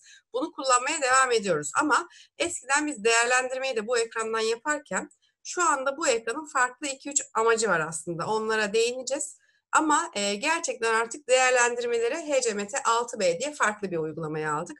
6A'da sadece yönetici değerlendirici yapabiliyordu ama biz artık 6B'ye geçtik. Çünkü 360 derecede istediğimiz herkesi değerlendirici olarak atayabiliyoruz. 6B uygulamasını açan bir kişi ilgili dönemi seçtiğinde kendisine atanan bütün değerlendirme formlarının e, listesini görür. Değerlendirmek istediği için işlemi o uygulamadan yapabilir. Peki e, HCMT 6A'ya bakacak olursak, e, burada tekrar ekran görüntüsü eklemedim ama e, aslında önceki gibi çalışan ve yöneticiye e, görme e, özelliği tanımlandıktan sonra hem çalışanın kendi sonuçlarını görebildiği hem de yöneticinin çalışanların sonuçlarını görebildiği yani performans değerlendirme sonuç görüntüleme için çalışmaya devam eden uygulama HCMT 6A. Burada HCMT 6A'ya bir özellik daha kazandırdık. Ee, biz parametrik olarak belli dönemlerde e, yöneticilere hedef girişini açıp kapama parametresi ekledik. Yani bu şu anlama geliyor. Diyelim ki performans değerlendirme sürecinin başındasınız. Yıllık hedefleri belirle, belirleme sürecindesiniz. 3 hafta boyunca bu parametre açık. Dolayısıyla HCMT 6A'ya giren yönetici altındaki personellerin hedef girişlerini kendisi yapabilir. 6 ayı artık yeni değerlendirme, pardon yeni kullanım şekillerinden biri de budur. Bir önceki maddeye geri döneceğim. Yetkinliklerin skala ile değerlendirilmesi. Bu da yine aslında sıklıkla hem okuduğumuz hem de e, gelen bir talepti bizim için. Yetkinliklerde e, biz e, işte sıfırdan yüze kadar ya da birden beşe kadar puanla değerlendirmek yerine e, hani bazı e, dokümanlarda da zaten bu şekilde olması gerektiği söyleniyor. Davranışsal e, yaklaşım sıklığı da diyebiliriz buna. Ama aslında hani o davranışın ne sıklıkla görüldüğünü bir skala olarak belirleyin. Genelde 3, 5, 7'lik skalalar oluyor bunlar. E, işte sık görülür, nadir görülür, hiç görülmez gibi. E, bu şekilde e, skalalarınızı ayrı bir destek tablosunda tanımlayabilirsiniz. Ve birden çok skala tanımlayabilirsiniz. Bunları da istediğiniz her yetkinlikle farklı şekilde e, ilişkilendirebilirsiniz. Yani e, işte bir yetkinlik için A skalasını başka biri için B skalasını kullanırken üçüncü bir yetkinlik için puan girişini açık bırakıyor olabilirsiniz de. Bu esnekliği de sağladık aslında sistemde. Ee, onun dışında e, hedeflerle ilgili tekrar e, diğer maddelere dönecek olursak, e, hedeflerde de oldukça e, güzel e, geliştirmeler yaptık. Bunlardan bir tanesi e, otomatik hedeflerin oluşturulması. Nedir bunlar? Biz bugüne kadar aslında performans değerlendirme e, yaparken performans değerlendirmede e, manuel olarak hedefleri ekliyorduk. Şimdi artık hedefin tanım kısmında e, bunun tipini seçebiliyorsunuz. Bu sizin e, daha önce yaptığınız gibi bir manuel hedef olabilir. Yine elle eklemeye devam edersiniz. Ya da bir ortak hedef olur. Bütün şirkete tanımlanması gerekir. O zaman siz bunu şirket hedefi ya da ortak hedef seçersiniz. Yeni oluşturacağınız performans değerlendirmelerde belirttiğiniz bu hedef herkese otomatik olarak tanımlanıyor olur. Bunun e, ikinci bir kullanımı da departman için otomatik hedef. Bu ne anlama geliyor? Aslında yine bir hedefiniz var. E, bunun departman için e, otomatik olduğunu belirttiniz ve ilgili departmanları seçtiniz. Bu durumda sadece o değer e, pardon o departmandaki e, personellere yeni değerlendirme döneminde bu hedefleri otomatik akıtabiliyorsunuz. Ee, bunun dışında e, hedefleri de biz biliyorsunuz puanla alıyorduk bugüne kadar. Başka bir yolumuz yoktu. Bunlara da e, aslında hedeflere işte e, puan girişimi olsun yoksa hesaplanabilir hedef mi gibi bir opsiyon koyduk. Burada da e, içlerine rank kod yazarak e, sistem üzerinde hesaplayabileceğiniz alanlar aslında oluşturmuş olduk. Şimdi tam bu noktada bir ERP sisteminin avantajından bahsedip öyle geçmek lazım diye düşünüyorum. Neden? Bizim aslında e, ERP programı olmamızın bir avantajı şu. E, satış verisi de içeride, üretim verisi de içeride, satın alma verisi, bütçe verisi hepsi içerideyken siz aslında bunları formülize edebiliyorsanız e, personellere tanımladığınız hedeflerin e, birileri tarafından puanlanmasına gerek kalmayabilir. Bunlara siz Trello kodu yazabiliyorsanız e, o zaman zaten hepsi e, hesaplanabilir hedefe dönecek. E, şöyle bir ek bilgi vereyim. Hesaplanabilir hedefler değerlendiricilerin önüne zaten düşmez. Çünkü en son İK ya da işte performans yönetiminden sorumlu profil kimse o gelip hesapla butonunu bir kere kullanır ve bütün e, hesaplanabilir olan hedefleri hesaplar. E, tam olarak bununla beraber e, bir özellik daha ekledik. E, aslında çok paralel çalışıyorlar. Hedeflenen ve gerçekleşen değerler üzerinden hesaplama. E, bu da aslında şudur. E, siz e, daha doğrusu sistem üzerinde daha önce e, bir hedef belirlerken bir e, hedef sayısı, sayısal bir hedef veremiyordunuz o satıra. Şu anda biz aslında bir hedeflenen değer alanı ekledik. Yanına bir de gerçekleşen değer alanı ekledik. Bu iki alanı da ayrıca e, Troya bir üstte bahsettiğimiz e, Troya kodlarında kullanabiliyorsunuz. Yani hedef var, gerçekleşen var. Bunları e, toplayıp çarpıp bölüp formülize edip puan çıkartabiliyorsunuz da. içeriye alabiliyorsunuz formüllerde. E, ya da e, en basitinden şöyle söyleyeyim. Siz bir formül yazmazsanız biz hedef bölü gerçekleşen yapıp yüzdesini yani puanını hesaplıyoruz o satır için. E, son olarak e, hedefleri biraz daha geniş düşünerek e, bir destek tablosu daha ilave ettik. Stratejiler diye bir tanım koyduk. Siz eğer e, firma stratejinizi tanımlayabiliyorsunuz, biliyorsanız ve bunlara da hedeflerinizi ilişkilendirebiliyorsanız yani bir e, strateji için sizin belli hedefleriniz varsa altta personellere dağıtabildiğiniz bunları da destek tablosunda tanımladığınız durumda biz de e, sonrasında hedef ya da strateji raporları oluşturmaya çalıştık. E, bu da son geliştirmelerimizden bu uygulama üzerinde. Ee, dediğim gibi amacımız aslında 360 dereceyi olabildiğince esnek bir halde e, çalıştırıyor olabilmek. E, bunu da yaparken tabii bir yandan da e, zaten e, performans yönetimi 360 derece değerlendirme aslında e, geniş e, ve de uygulaması bir miktar zor olabilen e, zorluğundan kastım hani bir sürü tanımlar yapıyorsunuz, atamalar, formlar. Bu noktada da yine hala sizin e, aslında işinizi kolaylaştırmak adına bir e, buton daha ekledik. E, o da toplu değerlendirme formu oluşturma. Yani bu e, iş yükünü bayağı azaltacak bir özellik oldu bence. Çünkü biz ne yapıyorduk daha önce? Personelleri listeliyorduk, tek tek içine giriyorduk, değerlendirici tanımlıyoruz, ağırlıklarını veriyoruz, e, kaydet diyoruz ve o formun datası oluşmuş oluyordu. E, şimdi bunu dışarıdan topluca yapabiliyorsunuz. Nasıl yapabiliyorsunuz? E, değerlendirme ağırlıklarını belirtebiliyorsunuz. E, seçtiğiniz personeller için çalışıyor tabii ki. E, hedef oluşturma seçeneğinde size iki opsiyon sunuyoruz. Biri otomatik oluştur. Az önce bahsettiğim gibi e, işte şirket için ya da departman için otomatik hedefler varsa onları getir demek oluyor bu.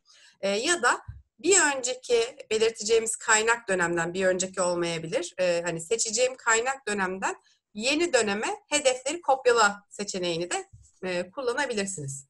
E, alta geçtiğimizde yetkinlik ilişkisini belirtebilirsiniz. E, şöyle hatırlayalım. Yetkinlikler şu anda e, destek tablolarından otomatik olarak kişiye zaten geliyordu. Ama e, bunun departman ilişkisine göre mi doldurulması gerekiyor? Pozisyon ilişkisine, göreve göre mi gelmesi gerekiyor? Onu belirtebiliyorsunuz. E, üçüncü seçeneğimiz ise değerlendiricileri oluşturma e, seçeneği. Burada da ee, yine önceki formdan kopyala diyerek bir önceki periyodun aynısını kopyalayabilirsiniz. Yine kaynak dönem soracak size eğer ikinci seçeneği seçerseniz. Ya da hayır ben yeni değerlendirici oluşturacağım deyip e, bunu seçtiğiniz durumda da e, ast, e, paydaş, öz, üst bunlardan hangilerini otomatik getireyim diye soruyor. İşaretlediklerinizi sistemden hesaplayıp getiriyor. Üst seçtiğiniz durumda e, kaç seviye üste kadar çıkayım diye bir kontrol koyduk. İşte bir seviye üst, iki seviye üst, üç seviye. Bunlar hep idari yönetici. E, ama onun dışında kişinin diğer yöneticilerini de kullanıyorsanız normalde sistemde bunları da belirleyerek, yani seçerek e, değerlendirici olarak getirebilirsiniz bu kişileri de. E, dolayısıyla aslında e, toplu şekilde değerlendirme formu oluşturma e, şeklinde bir opsiyonumuz daha artık mevcut. Ee, bir sonraki ekranımız e, performans yönetimi kokpit ekranı. Ee, burada e, ben devam edeyim bir şey e, mesaj gelince şey oldum da e, burada aslında performans yönetim konsoluna baktığınız zaman e, bizim burada 6 tane sekmemiz var. Bir tanesi yine e, dönem özetini veriyor. İşte bu dönemin e, ne kadarlık bir değerlendirme formu tamamlandı ya da kimler tamamladı, kimlerinki bekliyor tamamlanmayı şeklinde bir özet veri sunuyoruz size. İkinci sekmemiz yetkinlik analizi. Burada işte yetkinlik bazında personel, departman, personel şirket kıyaslamalarını görebiliyorsunuz aslında. Personelin departman içindeki ya da şirket içindeki yerlerini. Ama burada tabii bir yetkinlik bazında kıyaslamaktan bahsediyoruz. Bir sonraki sekmemiz personel gelişimi. Burada seçilen bir personelin seçtiğiniz iki dönem arasındaki gelişimini takip edebiliyorsunuz. Şu an baktığımız ekranın e, departman gelişiminin e, grafikleridir. E, bunun e, aynısının personel için ol, olanını düşünebilirsiniz aslında. E, üçüncüsü, e, pardon, dördüncüsü uygun personel arama. E, pardon atladım mı arada? Atlamadık tamam. Uygun personel aramada da aslında şöyle bir e, sistem kurmaya çalıştık. E, belirttiğiniz bir e, performans değerlendirme dönemi var. O dönemde diyorsunuz ki işte A yetkinliğinden 70 alsın, B'den 80 alsın, C'den 90 alsın. Böyle bir personel bul bana. Altında olmasın şeklinde mesela dedik. E, buna uygun personelleri son değerlendirme dönemine göre size listeliyor olacağımız e, bir yapı e, ekledik buraya da.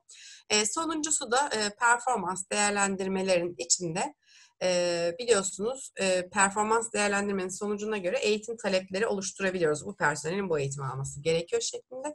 Onların hem e, en çok hangi eğitimlere talep girilmiş yani e, ne planlamanız gerekiyor aslında onu buldurmak için raporladığımız kısımdır. E, bu arada şimdi e, aklıma geldi hiçbir yerde değinmemiş olabilirim ama e, yeni bir destek tablosu daha ilave ettik. Hmm, personel e, gelişim yöntemleriyle ilgili. Bunlar hani bu koçluk, mentorluk gibi tanımlar yapabiliyorsunuz. Bu performans değerlendirmenin sonucunda nasıl ki eğitim talep edebiliyorsanız onun yerine böyle bir uygulama da talep edebiliyorsunuz ya da diyorsunuz ki bu önümüzdeki 6 ay işte bir koçluk alacak koçu da budur ya da mentorluk alacak mentoru budur. İşte sorumlusu budur. İşte yapılması gereken tarih sonu budur gibi. Hani kişinin e, gelişimine e, katkı sağlayacağını düşündüğünüz diğer e, gelişim opsiyonlarını da destek tablosunda tanımlayıp e, sorumlu atayarak e, artık performans değerlendirmenin içinde e, takip edebiliyoruz. Evet, sanıyorum performans yönetimiyle ilgili son slaytımız buydu. Aynen. Eğitimlere geçelim o zaman.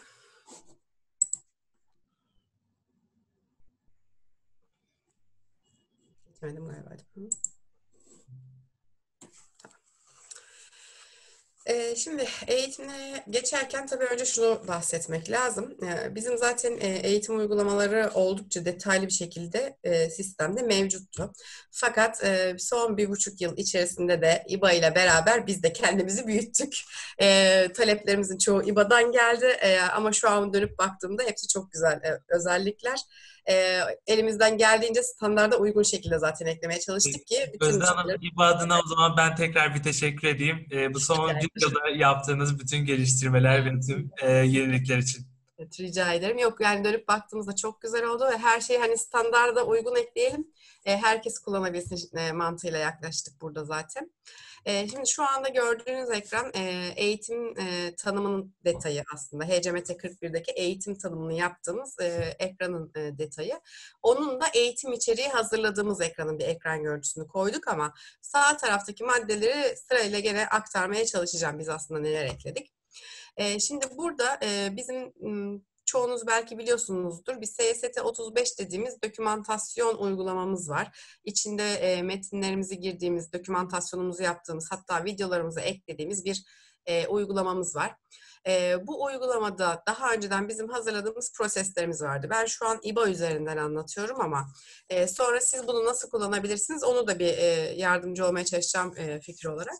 E, eğitim içeriğini burada oluşturup bunlarla ilgili bütün çıktılarımızı da biz şu anda İBA için buradan hazırlayabiliyoruz. Mesela bu gördüğünüz ekran bizim HCM'deki personel yönetimi son kullanıcı eğitiminin detayı. Biz burada işte prosesleri SST 35'e tanımlamıştık. Oradan buraya getirdik. İçerikleri de buraya geldi. Ben bunlara bir indeksleme, bir gruplama yaptım. Kimisinin içine gittim. HTML'de metinler yazdım, düzenleme yaptım. E, ayrıca bunların bir timeline'ını, bir çizelgesini alabilmek için e, gün ve oturum bilgilerini atadım. E, bayağı bildiğiniz aslında eğitim içeriğini ben buraya oturttum. Şimdi iki seçeneğiniz olabilir eğitim içeriği için. Birincisi siz de gidip SST 35'te kendi doküman ya da proseslerinizi, süreçlerinizi oluşturup oradan buraya getiriyor olabilirsiniz. E, ikinci uyarlama da şu olabilir. SST 35'e ihtiyacınız yok. Şuradaki artı butonuyla yeni satırlar ekleyip onlara indeks numaraları verip onları böyle birbirlerine bağlayıp yine indeksli olarak hani e, kırılımlı gelmesini sağlamak için e, HTML butonuyla da bunun içine böyle rich text metinler, formatlı e, metinler, resimler ekleyerek direkt burada da oluşturabilir durumdasınız. Bunları da çıktı dediğinizde indeksini yani e, buradaki indeks sıralamasını ya da daha detaylı direkt dokümanını basabiliyorsunuz. E, oradan aslında biz HTML olarak getiriyoruz ama PDF olarak kaydet diyerek buradan direkt şu an PDF olarak alıyoruz. Biz mesela kendimizden örnek vererek e, aktarıyor olacağım. E, burası çok esnek oldu dediğim gibi standarda uygun olması için artı butonu da koyduk. HTML butonu koyduk. Buralarda siz de dizayn edebilin. Hani illa bizimki gibi bir süreçten buraya akıtmak e, gibi bir şeyiniz olmaz.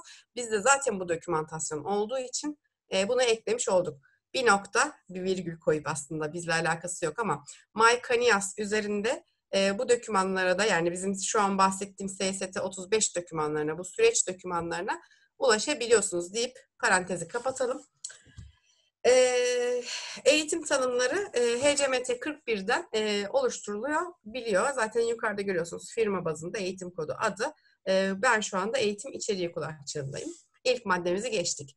Başka ne eklemişiz? Eğitim dili ekledik. Ee, hani bu eğitimi ben tasarladım, e, tanımladım ama ne dilinde? E, eğitim uygulama türü ve tedarik türü işte iç katılımcı, dış katılımcı ya da ortak gibi belirtebilirsiniz. E, eğitim takvimi ekledik. E, eğitim takvimi bence önemli ve bir sürü yerde kullanıyoruz. Şu anlama geliyor. Ee, örneğin siz şimdi bugün İVA'nın sitesine girdiğinizde size bir takvim geliyor. Diyor ki işte önümüzdeki e, örnek veriyorum bir ay, iki aylık bir süreçte şu tarihlerde şunları planlıyoruz gibi. O veriyi belirleyen yer eğitim takvimimiz bizim. Yani ileri tarihli yapmayı planladığım, e, uygulamayı planladığım eğitimleri eğitim takvimine giriyorum. Daha sonra işte e, ajandada geliyor, e, taleplerde geliyor, taleplerde bir tıklıyorsunuz. Ha, bu eğitim şu şu tarihlerde varmış. Ben şu tarih için talep oluşturayım diyorsunuz mesela. Dolayısıyla e, eğitim takvimi bence çok kullanışlı oldu. E, eğitim ajandasına göreceğimiz için çok üstünde durmuyorum şu anda. E, eğitim metinleri alanına ekledik. Ya burada böyle 6-7 tane yine rich e, şeyimiz var, metin alanımız var ama daha çok eğitim e, pazarlama metinleri gibi düşünebilirsiniz aslında ya da detay özet metinler gibi düşünebilirsiniz. Ee, yine şey genel sekmesinde bu eğitime katılım e, sonucunda alınan sertifikaları tanımlayabiliyorsunuz. E, katılım ya da uzmanlık olarak. E, onun dışında e, biz artık eğitim e, sonundaki e, geçme notunu belirlerken sadece sınavlara değil hem eğitmen notuna hem sınav notuna bakmaya başladık. E, bunu bizim gibi kullananlar olabilir e, diye düşünerek iki tane de ağırlık alanı ilave ettik. Yani bu eğitimin geçme notu hesabında ne kadarını sınav puanı ne kadarını eğitmen puanı belirler. Onu da ilk sekmede tanımlayabilirsiniz. Bir sonraki ekranımız eğitim ajandası. Ee, eğitim ajandasında aslında ben yine HCMT 41'den e, takvim butonuyla açabiliyorum yukarıda. Seçtiğim satırlar kadarını atabiliyorum buraya. Yani ne kadar eğitimi istiyorsam o kadarını seçip onlar için olan ajandaya bakabiliyorum. Yukarıda da e, iki tarih arası belirleyip bu tarih aralıklarında bakmak istiyorum diye belirtebiliyorum. E, ben bu ekran görüntüsünü alırken fark ettim ki aslında boş satırları göstermese daha iyi olacakmış. E, bu geliştirmeye de başladık. Bir ara e, 802 versiyonumuzda da e, görebilirsiniz aynı özelliği. Yani boş satırları gösterme gibi bir checkbox'ınız olacak. Bunu açtığınız zaman e, ilk önce e, az önce bahsettiğimiz eğitim takvimine eklediğimiz tarihler için mavi hücreler şeklinde bunun o tarihte planlandığını görebiliyorsunuz. E, yeşil hücrelerde ise HCMT 45'te artık kaydı açılmış işte eğitim yeri, eğitmeni belirlenmiş, e, katılımcılara yaratılmaya başlamış olan kayıtları gösteriyoruz. Mesela şu anda tam ortada gözüken kayıt e, bizim bugünkü webinarımızın kaydı aslında. E, bu şekilde siz istediğiniz e, çakışan eğitimleri de görmek için olabilir ya da bunu alıp bir yerlere e, duyuru şeklinde de asabilirsiniz. Hani şu tarih aralığında şu eğitimler planlandı gibi. Dolayısıyla sistem üzerinden artık bir eğitim ajandası alabiliyoruz. Ee, bir sonraki sunumumuzsa e, eğitim kaydı. Hmm, geçemedim bir türlü. Ee, şimdi eğitim kaydı dediğimiz uygulamada HCMT 45 uygulamamız aslında. Ee, az önce e, bahsettiğimiz e, yani eğitim tanımındaki takvim dediğimiz e, tarihler e, şurada başlangıç tarihi ve bitiş tarihinin yanındaki e, takvim butonuna tıkladığınızda da hani ileri tarihli bütün planlanan e, tarihleri görebilirsiniz eğitimle ilgili. Yeri gelmişken ona da değineyim. E, bizim eğitim kaydındaki en büyük geliştirmemiz de katılımcılar e, sekmesinde olduğu için onun bir ekran görüntüsünü hazırladım. E, şimdi öncelikle e, daha önceden biz buraya toplu şekilde personel ekleyebiliyorduk. E, yeni bir özellikle artık buraya dış katılımcı ekleyebiliyoruz. Nereden ekleyebiliyoruz? Tabii ki adres defterinden. Yani şu e, sola doğru ok gösteren buton sayesinde adres defterinden e, şu şu şu dış katılımcılar da bu eğitime katılacak diyebiliyoruz. Peki ilk maddeye bir bakalım. Eğitim talep web servis hazırlandı. E, bu aslında şu, e, siz bugün bu webinara katılmak için İBA'da bir talep doldurdunuz, göndere bastınız, bize de o talep düştü. Ee, yani eğitim taleplerinizi web servisinde dışarıdan alabileceğiniz bir hazır web servisiniz artık var. Siz de eğer e, eğitim uygulamasına dışarıdan katılımcı alıyorsanız e, kendi web sitesine e, sitenize benzer bir alan ekleyip gönder diyerek bizim gibi talepleri dışarıdan toplayabilirsiniz. Burada eğitim taleplerini toplamaktan bahsediyoruz aslında. Gördüğünüz puzzle butonu burada şu işe yarar. Biz daha önceden ne yapıyorduk? Mesela bir eğitim kaydı açıp eğitim talep kodunu seçerek onun bilgisini buraya getiriyorduk ama şimdi artık daha yoğun bir şekilde talep toplamaya başladık. Dolayısıyla e, biz burada e, eğitim taleplerini e, farklı şekillerde olanları listeleyip otomatik ve toplu şekilde buraya taşımak için puzzle butonunu kullanıyoruz. Bastığınız zaman bir tarihten itibaren bu eğitimle ilgili açılan tüm talepleri listeler, seçtiğiniz satırları unik olacak şekilde buraya getirir. E, bu da güzel bir özellik oldu bence planlama açısından. E, bir de saat butonumuz var.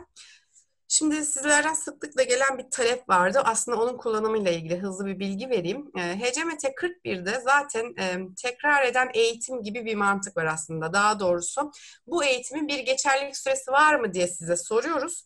Var derseniz size geçerlilik periyodu soruyoruz. İşte bu eğitimin bir geçerlilik süresi var. E, geçerlilik süresi bir yıl, işte iki yıl gibi belirttiğiniz durumda aslında o iki yıl sonra tekrar eden eğitim olarak e, artık sistem bunu öyle çalıştırıyor.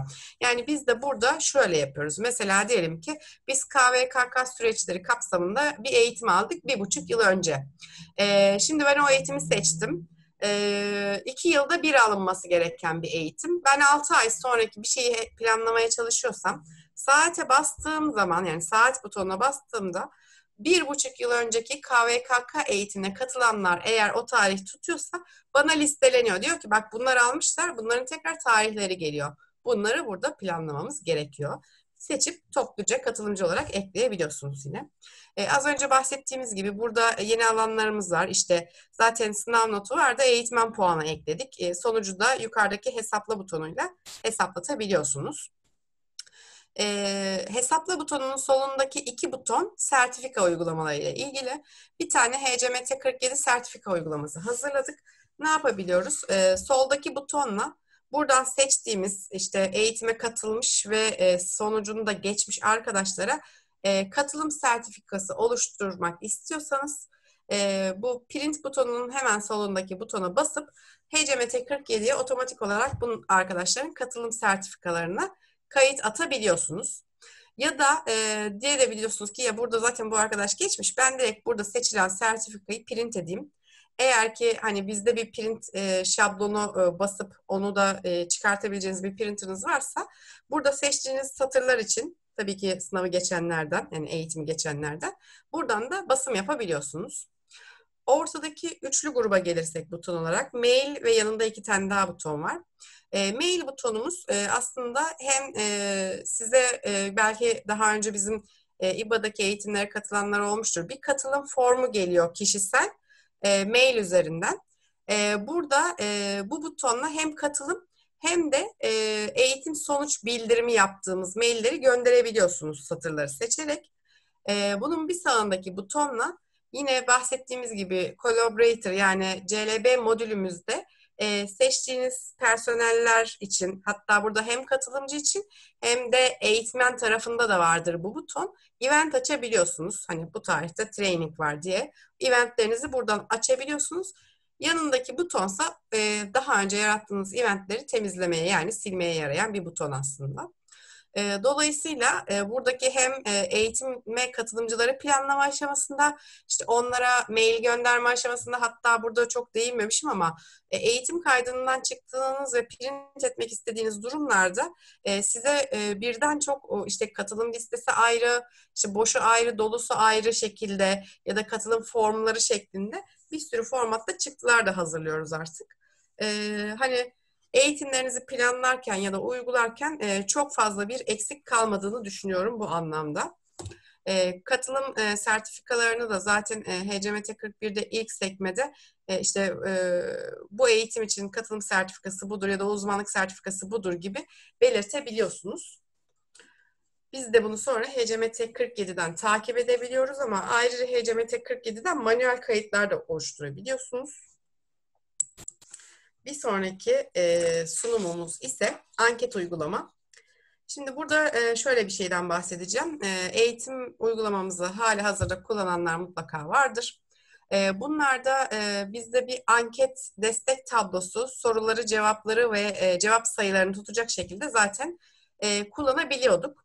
E, bu aslında buna artık HCM anket uygulaması diyelim. Çünkü yine parametrik bir şekilde size bir de e, CRM anket uygulaması seçeneği sunduk. Yani bu e, CRM lisansı olması gerektiği için e, bunu da parametrik olarak e, soruyoruz size ama bildiğiniz gibi CRM uygulamamızın bir anket e, uygulama opsiyonu zaten var. Şu an gördüğünüz ekran HCMT 68E uygulaması ve iç katılımcılara yani eğitiminize katılan personellerinize e, anket uygulayacağınız ekran budur. Neler vardır burada? Sol tarafta aslında e, işte belirttiğiniz arama kriterlerine göre katıldığınız eğitimleri listeliyor. E, bir self servis uygulaması olduğu için herkese kendi eğitimlerini listeliyor. Burada siz anketini ya da sınavını uygulamak istediğiniz satırı seçtiğiniz zaman sağ tarafta o e, sınava, e, pardon, o eğitime atanmış anketleri, sınavları görebiliyorsunuz. İstediğinizi seçip sağ üst köşedeki hızlı uygulaya bastığınız durumda e, bunu e, aslında sanki e, CRM T16'dan uyguluyormuşsunuz gibi e, bir anket uygulamaya başlatıyor sistem sizi. E, orada girdikten sonra da size işte puanınızı gösterebiliyor. Bu kadar puan aldığınız gibi ya da ankette öyle bir opsiyon da olmuyor zaten. E, yeşil olarak e, işaretlenen satırlarda tahmin edeceğiniz gibi daha önceden yapılan e, yani doldurulmuş anketleri size listeliyor bu ekranda. Eğitimlerle ilgili e, son sunumumuz tabii ki eğitim yönetimi kokpiti HCMT 106 uygulaması. E, şimdi burada e, ben e, hızlıca sağdaki içeriği yine okuyor olacağım sizin için aslında. Hani yeri geldikçe e, noktaları e, belirtiyor olacağım. Bu uygulamanın amacı da yine hep bahsettiğimiz gibi eğitim planlamalarının yine kolaylaştırılması ya da işte günlük raporlamaların da aslında hani ekstra bir şey sarf etmeden, çaba sarf etmeden yapılabilmesi. E, soldaki e, butonlarımız yine e, siz aslında arama kriterlerinizi seçip yukarıdaki refresh butonuna bastığınızda e, ilgili e, dataların sayılarını, nümerik verilerini gösteriyor size. E, ilk sekmemiz eğitim özetleri. Eğitim özetlerinde e, belirttiğiniz kriterlerde listeleme yapılmış oluyor zaten. Seçtiğiniz bir satır için detayına girmeden işte sağda eğitmen, eğitim yeri, işte tarihleri, e, gerçekleşen katılım, e, ya da gerçekleşen ve planlanan maliyetleri görebiliyorsunuz. E, onun altında e, bunları yüzde olarak gösterdik Gauge E, hemen altında da planlanan maliyet ve kalemlerini gerçekleşen maliyet ve kalemleriyle kıyaslamak için iki tane grafik ekledik. E, özet e, dediğimiz kısım bu şekilde. E, eğitim ajandası aslında az önce diğer uygulamada da görmüştük. E, belirttiğiniz arama kriterlerine göre size e, planlanan e, ve açılan eğitimleri gösteriyor. E, taleplerin toplanması da aslında yine aynı mantık. Siz belli kriterler vererek e, hani hangi talepten ne kadar gelmiş, neye göre e, ben bunlara bakayım şeklinde e, hani bir eğitimin açılıp açılmayacağına karar verirken e, bakacağınız şeylere e, göre raporladığımızı düşünüyorum. E, tekrarlı e, eğitimlerden tarihi yaklaşanları yine takip etme e, imkanımız var e, iş tanımlarına göre alınması gereken eğitimlerin raporlanması bir parantez açayım. İş tanımlarımızda HCMT 02'de işte bu iş tanımı için şu eğitimlerin alınması gerekiyor deyip işte e, kadro ilişkisinden yola çıkarak aslında e, biz hani e, hangi eğitimlerin alınması gerektiğini burada raporlamaya çalışıyoruz sizler için. E, planlanan eğitim için uygun yer ve eğitmen araması. Bu da şu demek. Siz aslında bir eğitimi planladınız. İşte dediniz ki 21 Mayıs'ta e, HCM'nin bir webinarı olsun. E, buna karar verdikten sonra bu iki bilgiyi girerek o gün hangi e, eğitim salonları uygun, o gün hangi eğitmenler uygun sistem sizin için bir tarama yapıyor. Mesela e, bir eğitim salonu başka bir eğitim için daha önceden kaydedildiyse onları listeden çıkarıyor. Aynı mantık eğitmen için de var. E, aynı zamanda tabii eğitmenin e, başka sebeplerle o gün çalışmıyor olup olmadığını da kontrol ediyor. İzni var mı gibi mesela. E, kısacası şuradaki kaynak arama e, sekmesi de bu işe yarıyor personel eğitimlerinin takip edilmesi dediğimiz kısımda e, yine aslında benzer mantık sicil kartına giremeyen bir profilimiz var. Ama bir personel için e, o personelin özelinde onun işte taleplerine bakmak istiyor, katıldığı eğitimlerini görmek istiyor ya da alması gereken eğitim var mı diye bakmak istiyor. Hepsini bir personel için e, aratabileceği bir ekrandan bahsediyoruz burada. E, son sekmemiz maliyet ve e, performans.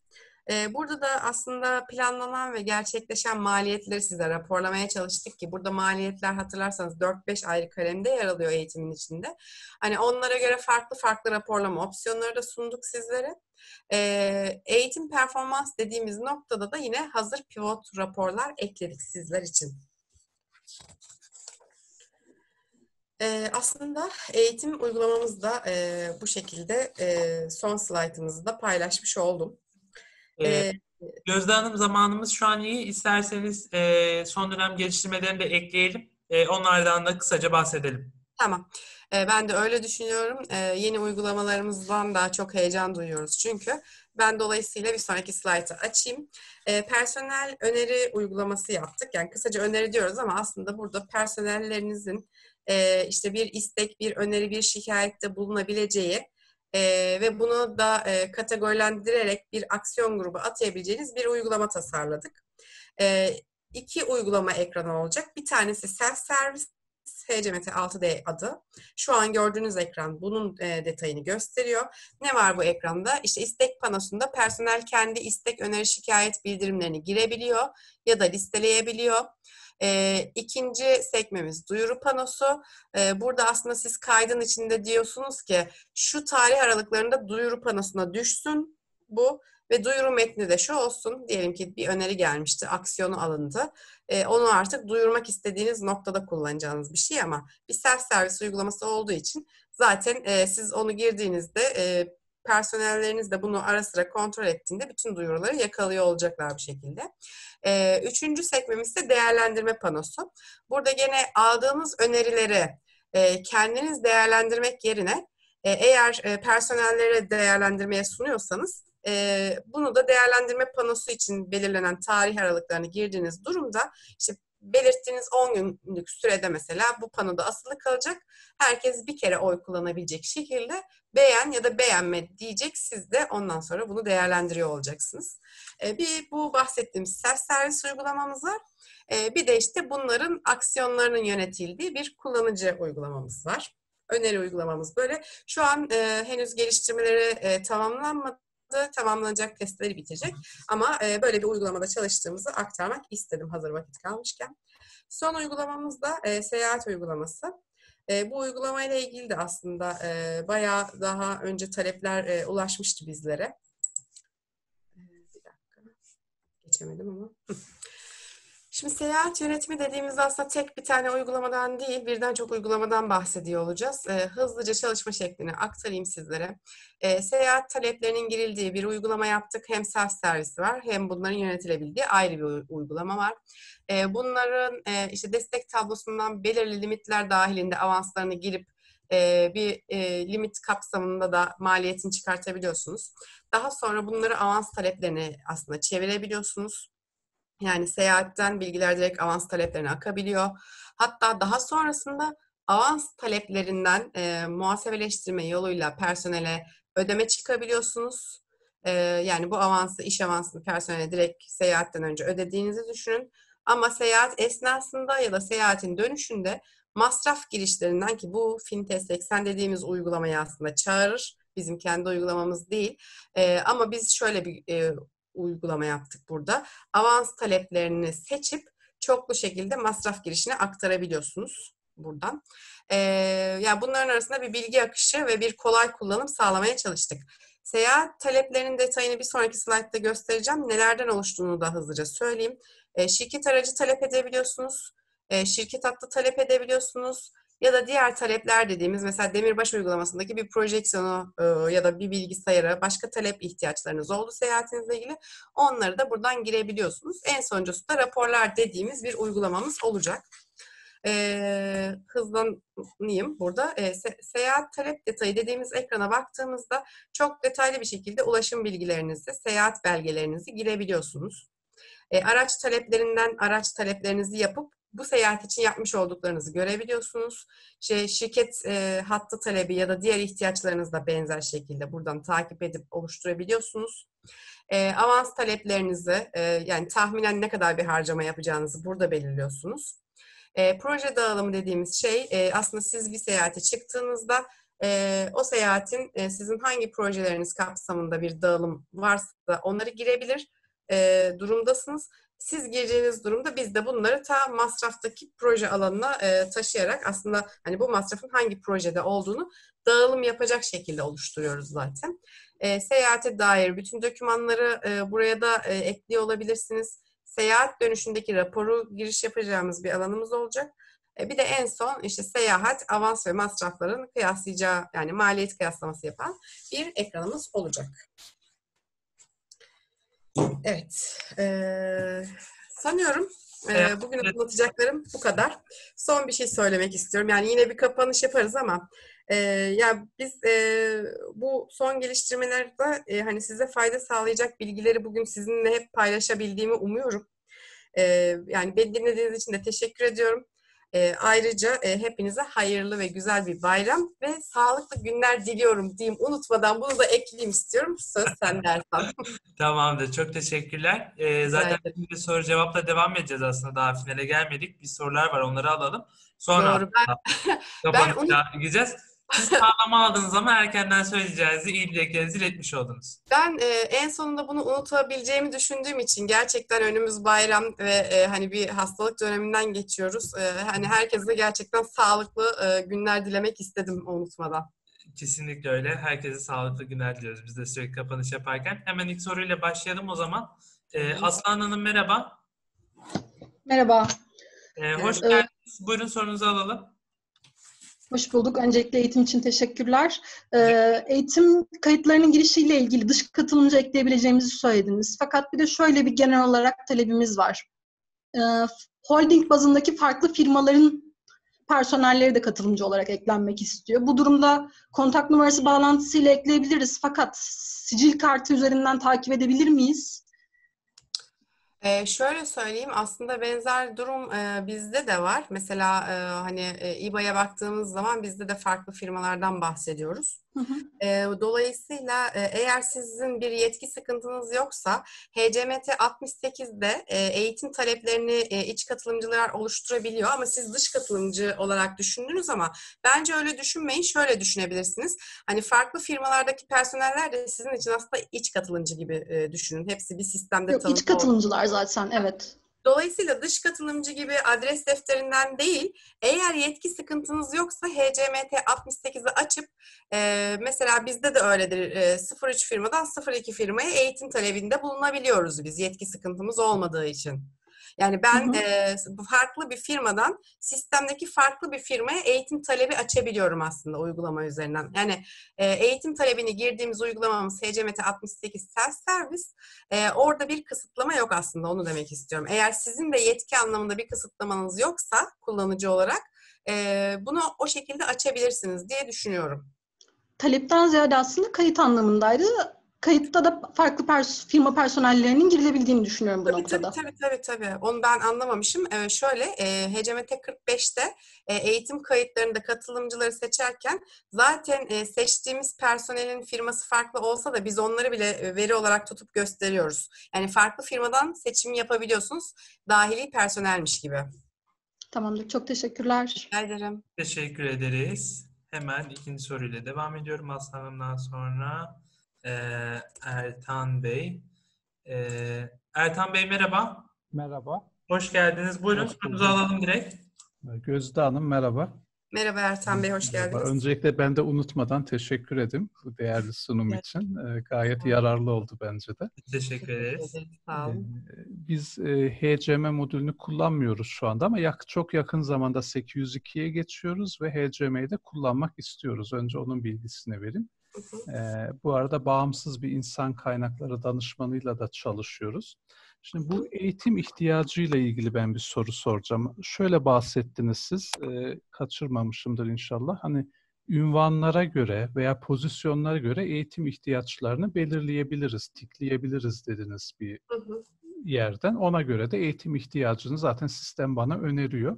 Evet. Ee, bizim ama şöyle bir tık daha ötesini yapabilir miyiz? Şöyle, yine HCM, Canyas HCM'de performans değerlendirme yaptık, 360 derece değerlendirme yaptık. İşte atıyorum benim mesela e, bazı puanlarım düşük çıktı.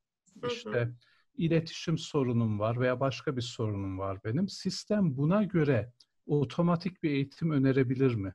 Hani benim değerlendirme sonucuma göre kendisi bana önersin ya şu kişinin şu eğitime ihtiyacı var, bu kişinin de bu eğitime ihtiyacı var. Ama aslında ünvan veya pozisyonda ben orada yeterli olmalıyım zaten ama değerlendirme sonucuna göre de eksik çıktım. Bu da bir gerçek. Hı hı, anladım. Ya şöyle, e, hani alınması gereken eğitimler var ama o eğitimin sonucunun ne olması gerektiği yok aslında şu anda sistemde. Bu bahsettiğiniz konunun sanki bir kısmı da kariyer planlama e, ya da işte kariyer yönetimine konu olabilir gibi geliyor. Yapılabilir, e, hani aslında olması gerekebilir. E, biz bunu bir değerlendirelim Ertan Bey. E, yani onun için ne kadar genişlememiz gerekiyor yo- e, değerlendirebiliriz ama e, zaten gitmek istediğimiz bir yönde olabilir aynı zamanda. Hı hı, Tamam. Teşekkür ederim. Çok Ben sağ olun. teşekkür ederim. Sağ olun katılımınız için. Sağ olun. Ee, hemen bir sonraki soru tekrar Levent Bey'e dönüyorum. Ee, Levent Bey merhaba. Tekrar merhaba. Buyurun sorunuzu alalım. Ben seyahat talepleriyle ilgili soru e, sormak istiyorum. Hı hı. CRM ile bir entegrasyon mevcut olacak mı? E, CRM ile nasıl bir entegrasyon e, olabilir? Yani şöyle aslında bu seyahat talepleri genelde e, hani plasiyer gibi e, şeyler için yoğunlukla kullanılıyor. Plasiyerlerde genelde e, müşterilerin ziyareti ya da tedarikçilerin ziyareti fark etmez. Hı hı. şeklinde bir e, ziyaret, ziyaret ve seyahat e, planlıyorlar. Dolayısıyla aslında CRM tarafından baktığınızda 3-5 müşteriyi gezmiş ve bunlarla ilgili bir takım aksiyonlar almış olabiliyor. Ama bu aksiyonların hepsi aslında bir seyahat kapsamında oluyor. Dolayısıyla hani bir seyahat talebinin CRM tarafında birden fazla kayıtla ilişkilendirilerek bir birliktelik yani benim bir seyahat rapo- raporum dendiğinde aslında o seyahat rap- raporunun CRM tarafında da bir karşılığı olması gerekebilir. Anladım. Anlatabildim mi bilmiyorum. Ee, ya biraz anladım. Ee, şunu aslında belki daha sonra detaylı konuşuyor olabiliriz.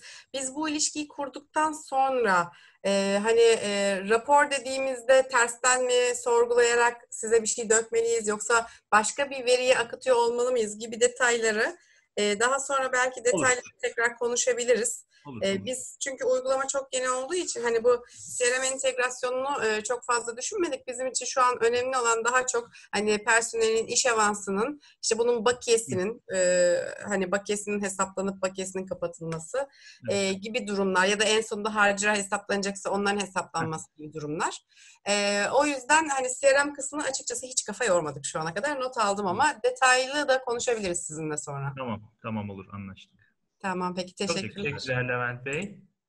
Ee, ardından hemen devam ediyorum. Bir sonraki soru. Sinem Hanım'ın e, bir sorusu var. Ee, Sinem Hanım yanlış hatırlamıyorsam mikrofonunu açamıyordu. Böyle bir, pro- öyle bir durum olmuştu. Tamam. Ben onu yerine ileteyim. ARGE merkezi ile ilgili son bir şey sormak istiyorum demiş.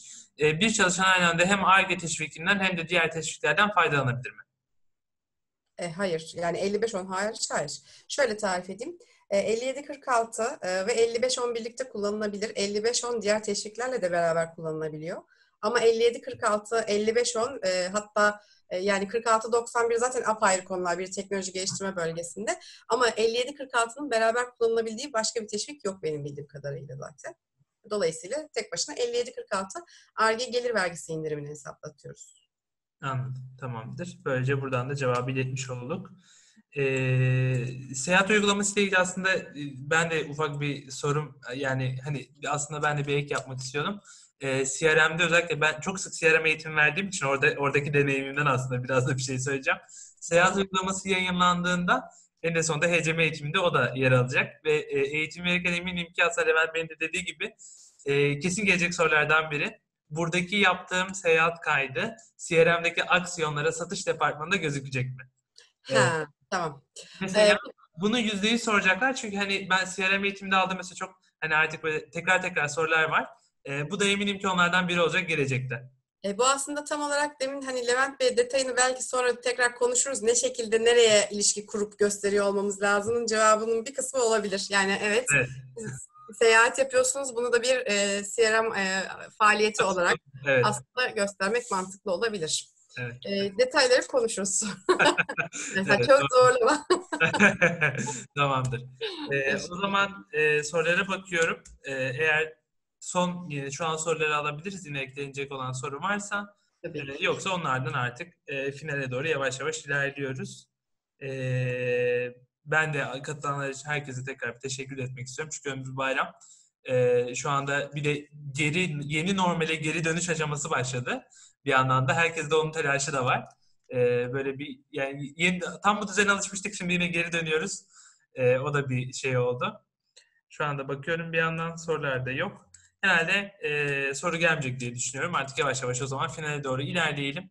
İlerlerken de ben e, önümüzdeki haftadan hemen bahsetmek istiyorum. Gelecek hafta yine e, İBON Zoom serisi webinarlarımızda VMS depo yönetim modülünü e, konuşuyor olacağız. E, Erdem Dilaverler, maliyet webinarına katılanlar hatırlayacaklardır. E, materyal birim yöneticisi yine aramızda olacak VMS modülü için. Sonrasında Haziran ayı programımız da yayınlandı. Şu anda hazırlandı. E, yakında diğer tüm kanallarda sosyal medya üzerinden de yayınlamaya başlayacağız. Haziran ayı içerisinde de e-dönüşüm uygulamaları, dijital dönüşüm, endüstri 4.0 ve ERP'nin geleceği, pandemi sürecinde dijitalleşme ve iş ekip yönetimi ve son olarak da ERP projelerine başarılı implementasyon nasıl mümkün olur gibi daha spesifik konularla devam ediyor olacağız. Bunu da şimdiden duyurmuş olalım. Ardından da artık finale doğru geliyoruz. Herkese ben de e, Business Akademi adına e, teşekkür etmek istiyorum katılımlarından dolayı. E, yine gayet çok güzel ve verimli bir webinar gerçekleşti. E, Gözde Hanım size de tekrar çok teşekkür etmek istiyorum. De Business Akademi adına. Ben de teşekkür ediyorum herkese katılımı için, dinledikleri için. Ee, tekrar e, unutmadan tekrar bir iyi bayramlar dilemek isterim. E, Sağ olun günler. Kesinlikle öyle. Ben de e, herkese şimdiden erkenden iyi, sağlıklı ve mutlu bir bayram dilemek istiyorum. E, bu dönemde biraz evde kapalı olacak tüm Türkiye. E, hiçbir yere gidemeyecek, kimse bir şey yapamayacak ama önemli olan öncelikle sağlık. Sonrasında zaten her şey gelecektir. E, sona geldiğimiz için ben şimdi ekran paylaşımını kapatıyorum. E, yine geçmiş haftalarda olduğu gibi isteyenler, dileyenler kameralarını açabilirler. E, bir hemen şey yapalım, ekran görüntüsü alalım. Bu yeni trendin bir parçası olarak. Ardından da yayınımızı sonlandıralım.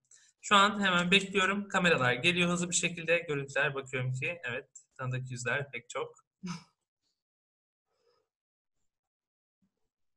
Tamamdır. Şu anda hala geliyor. Hemen şöyle yapalım.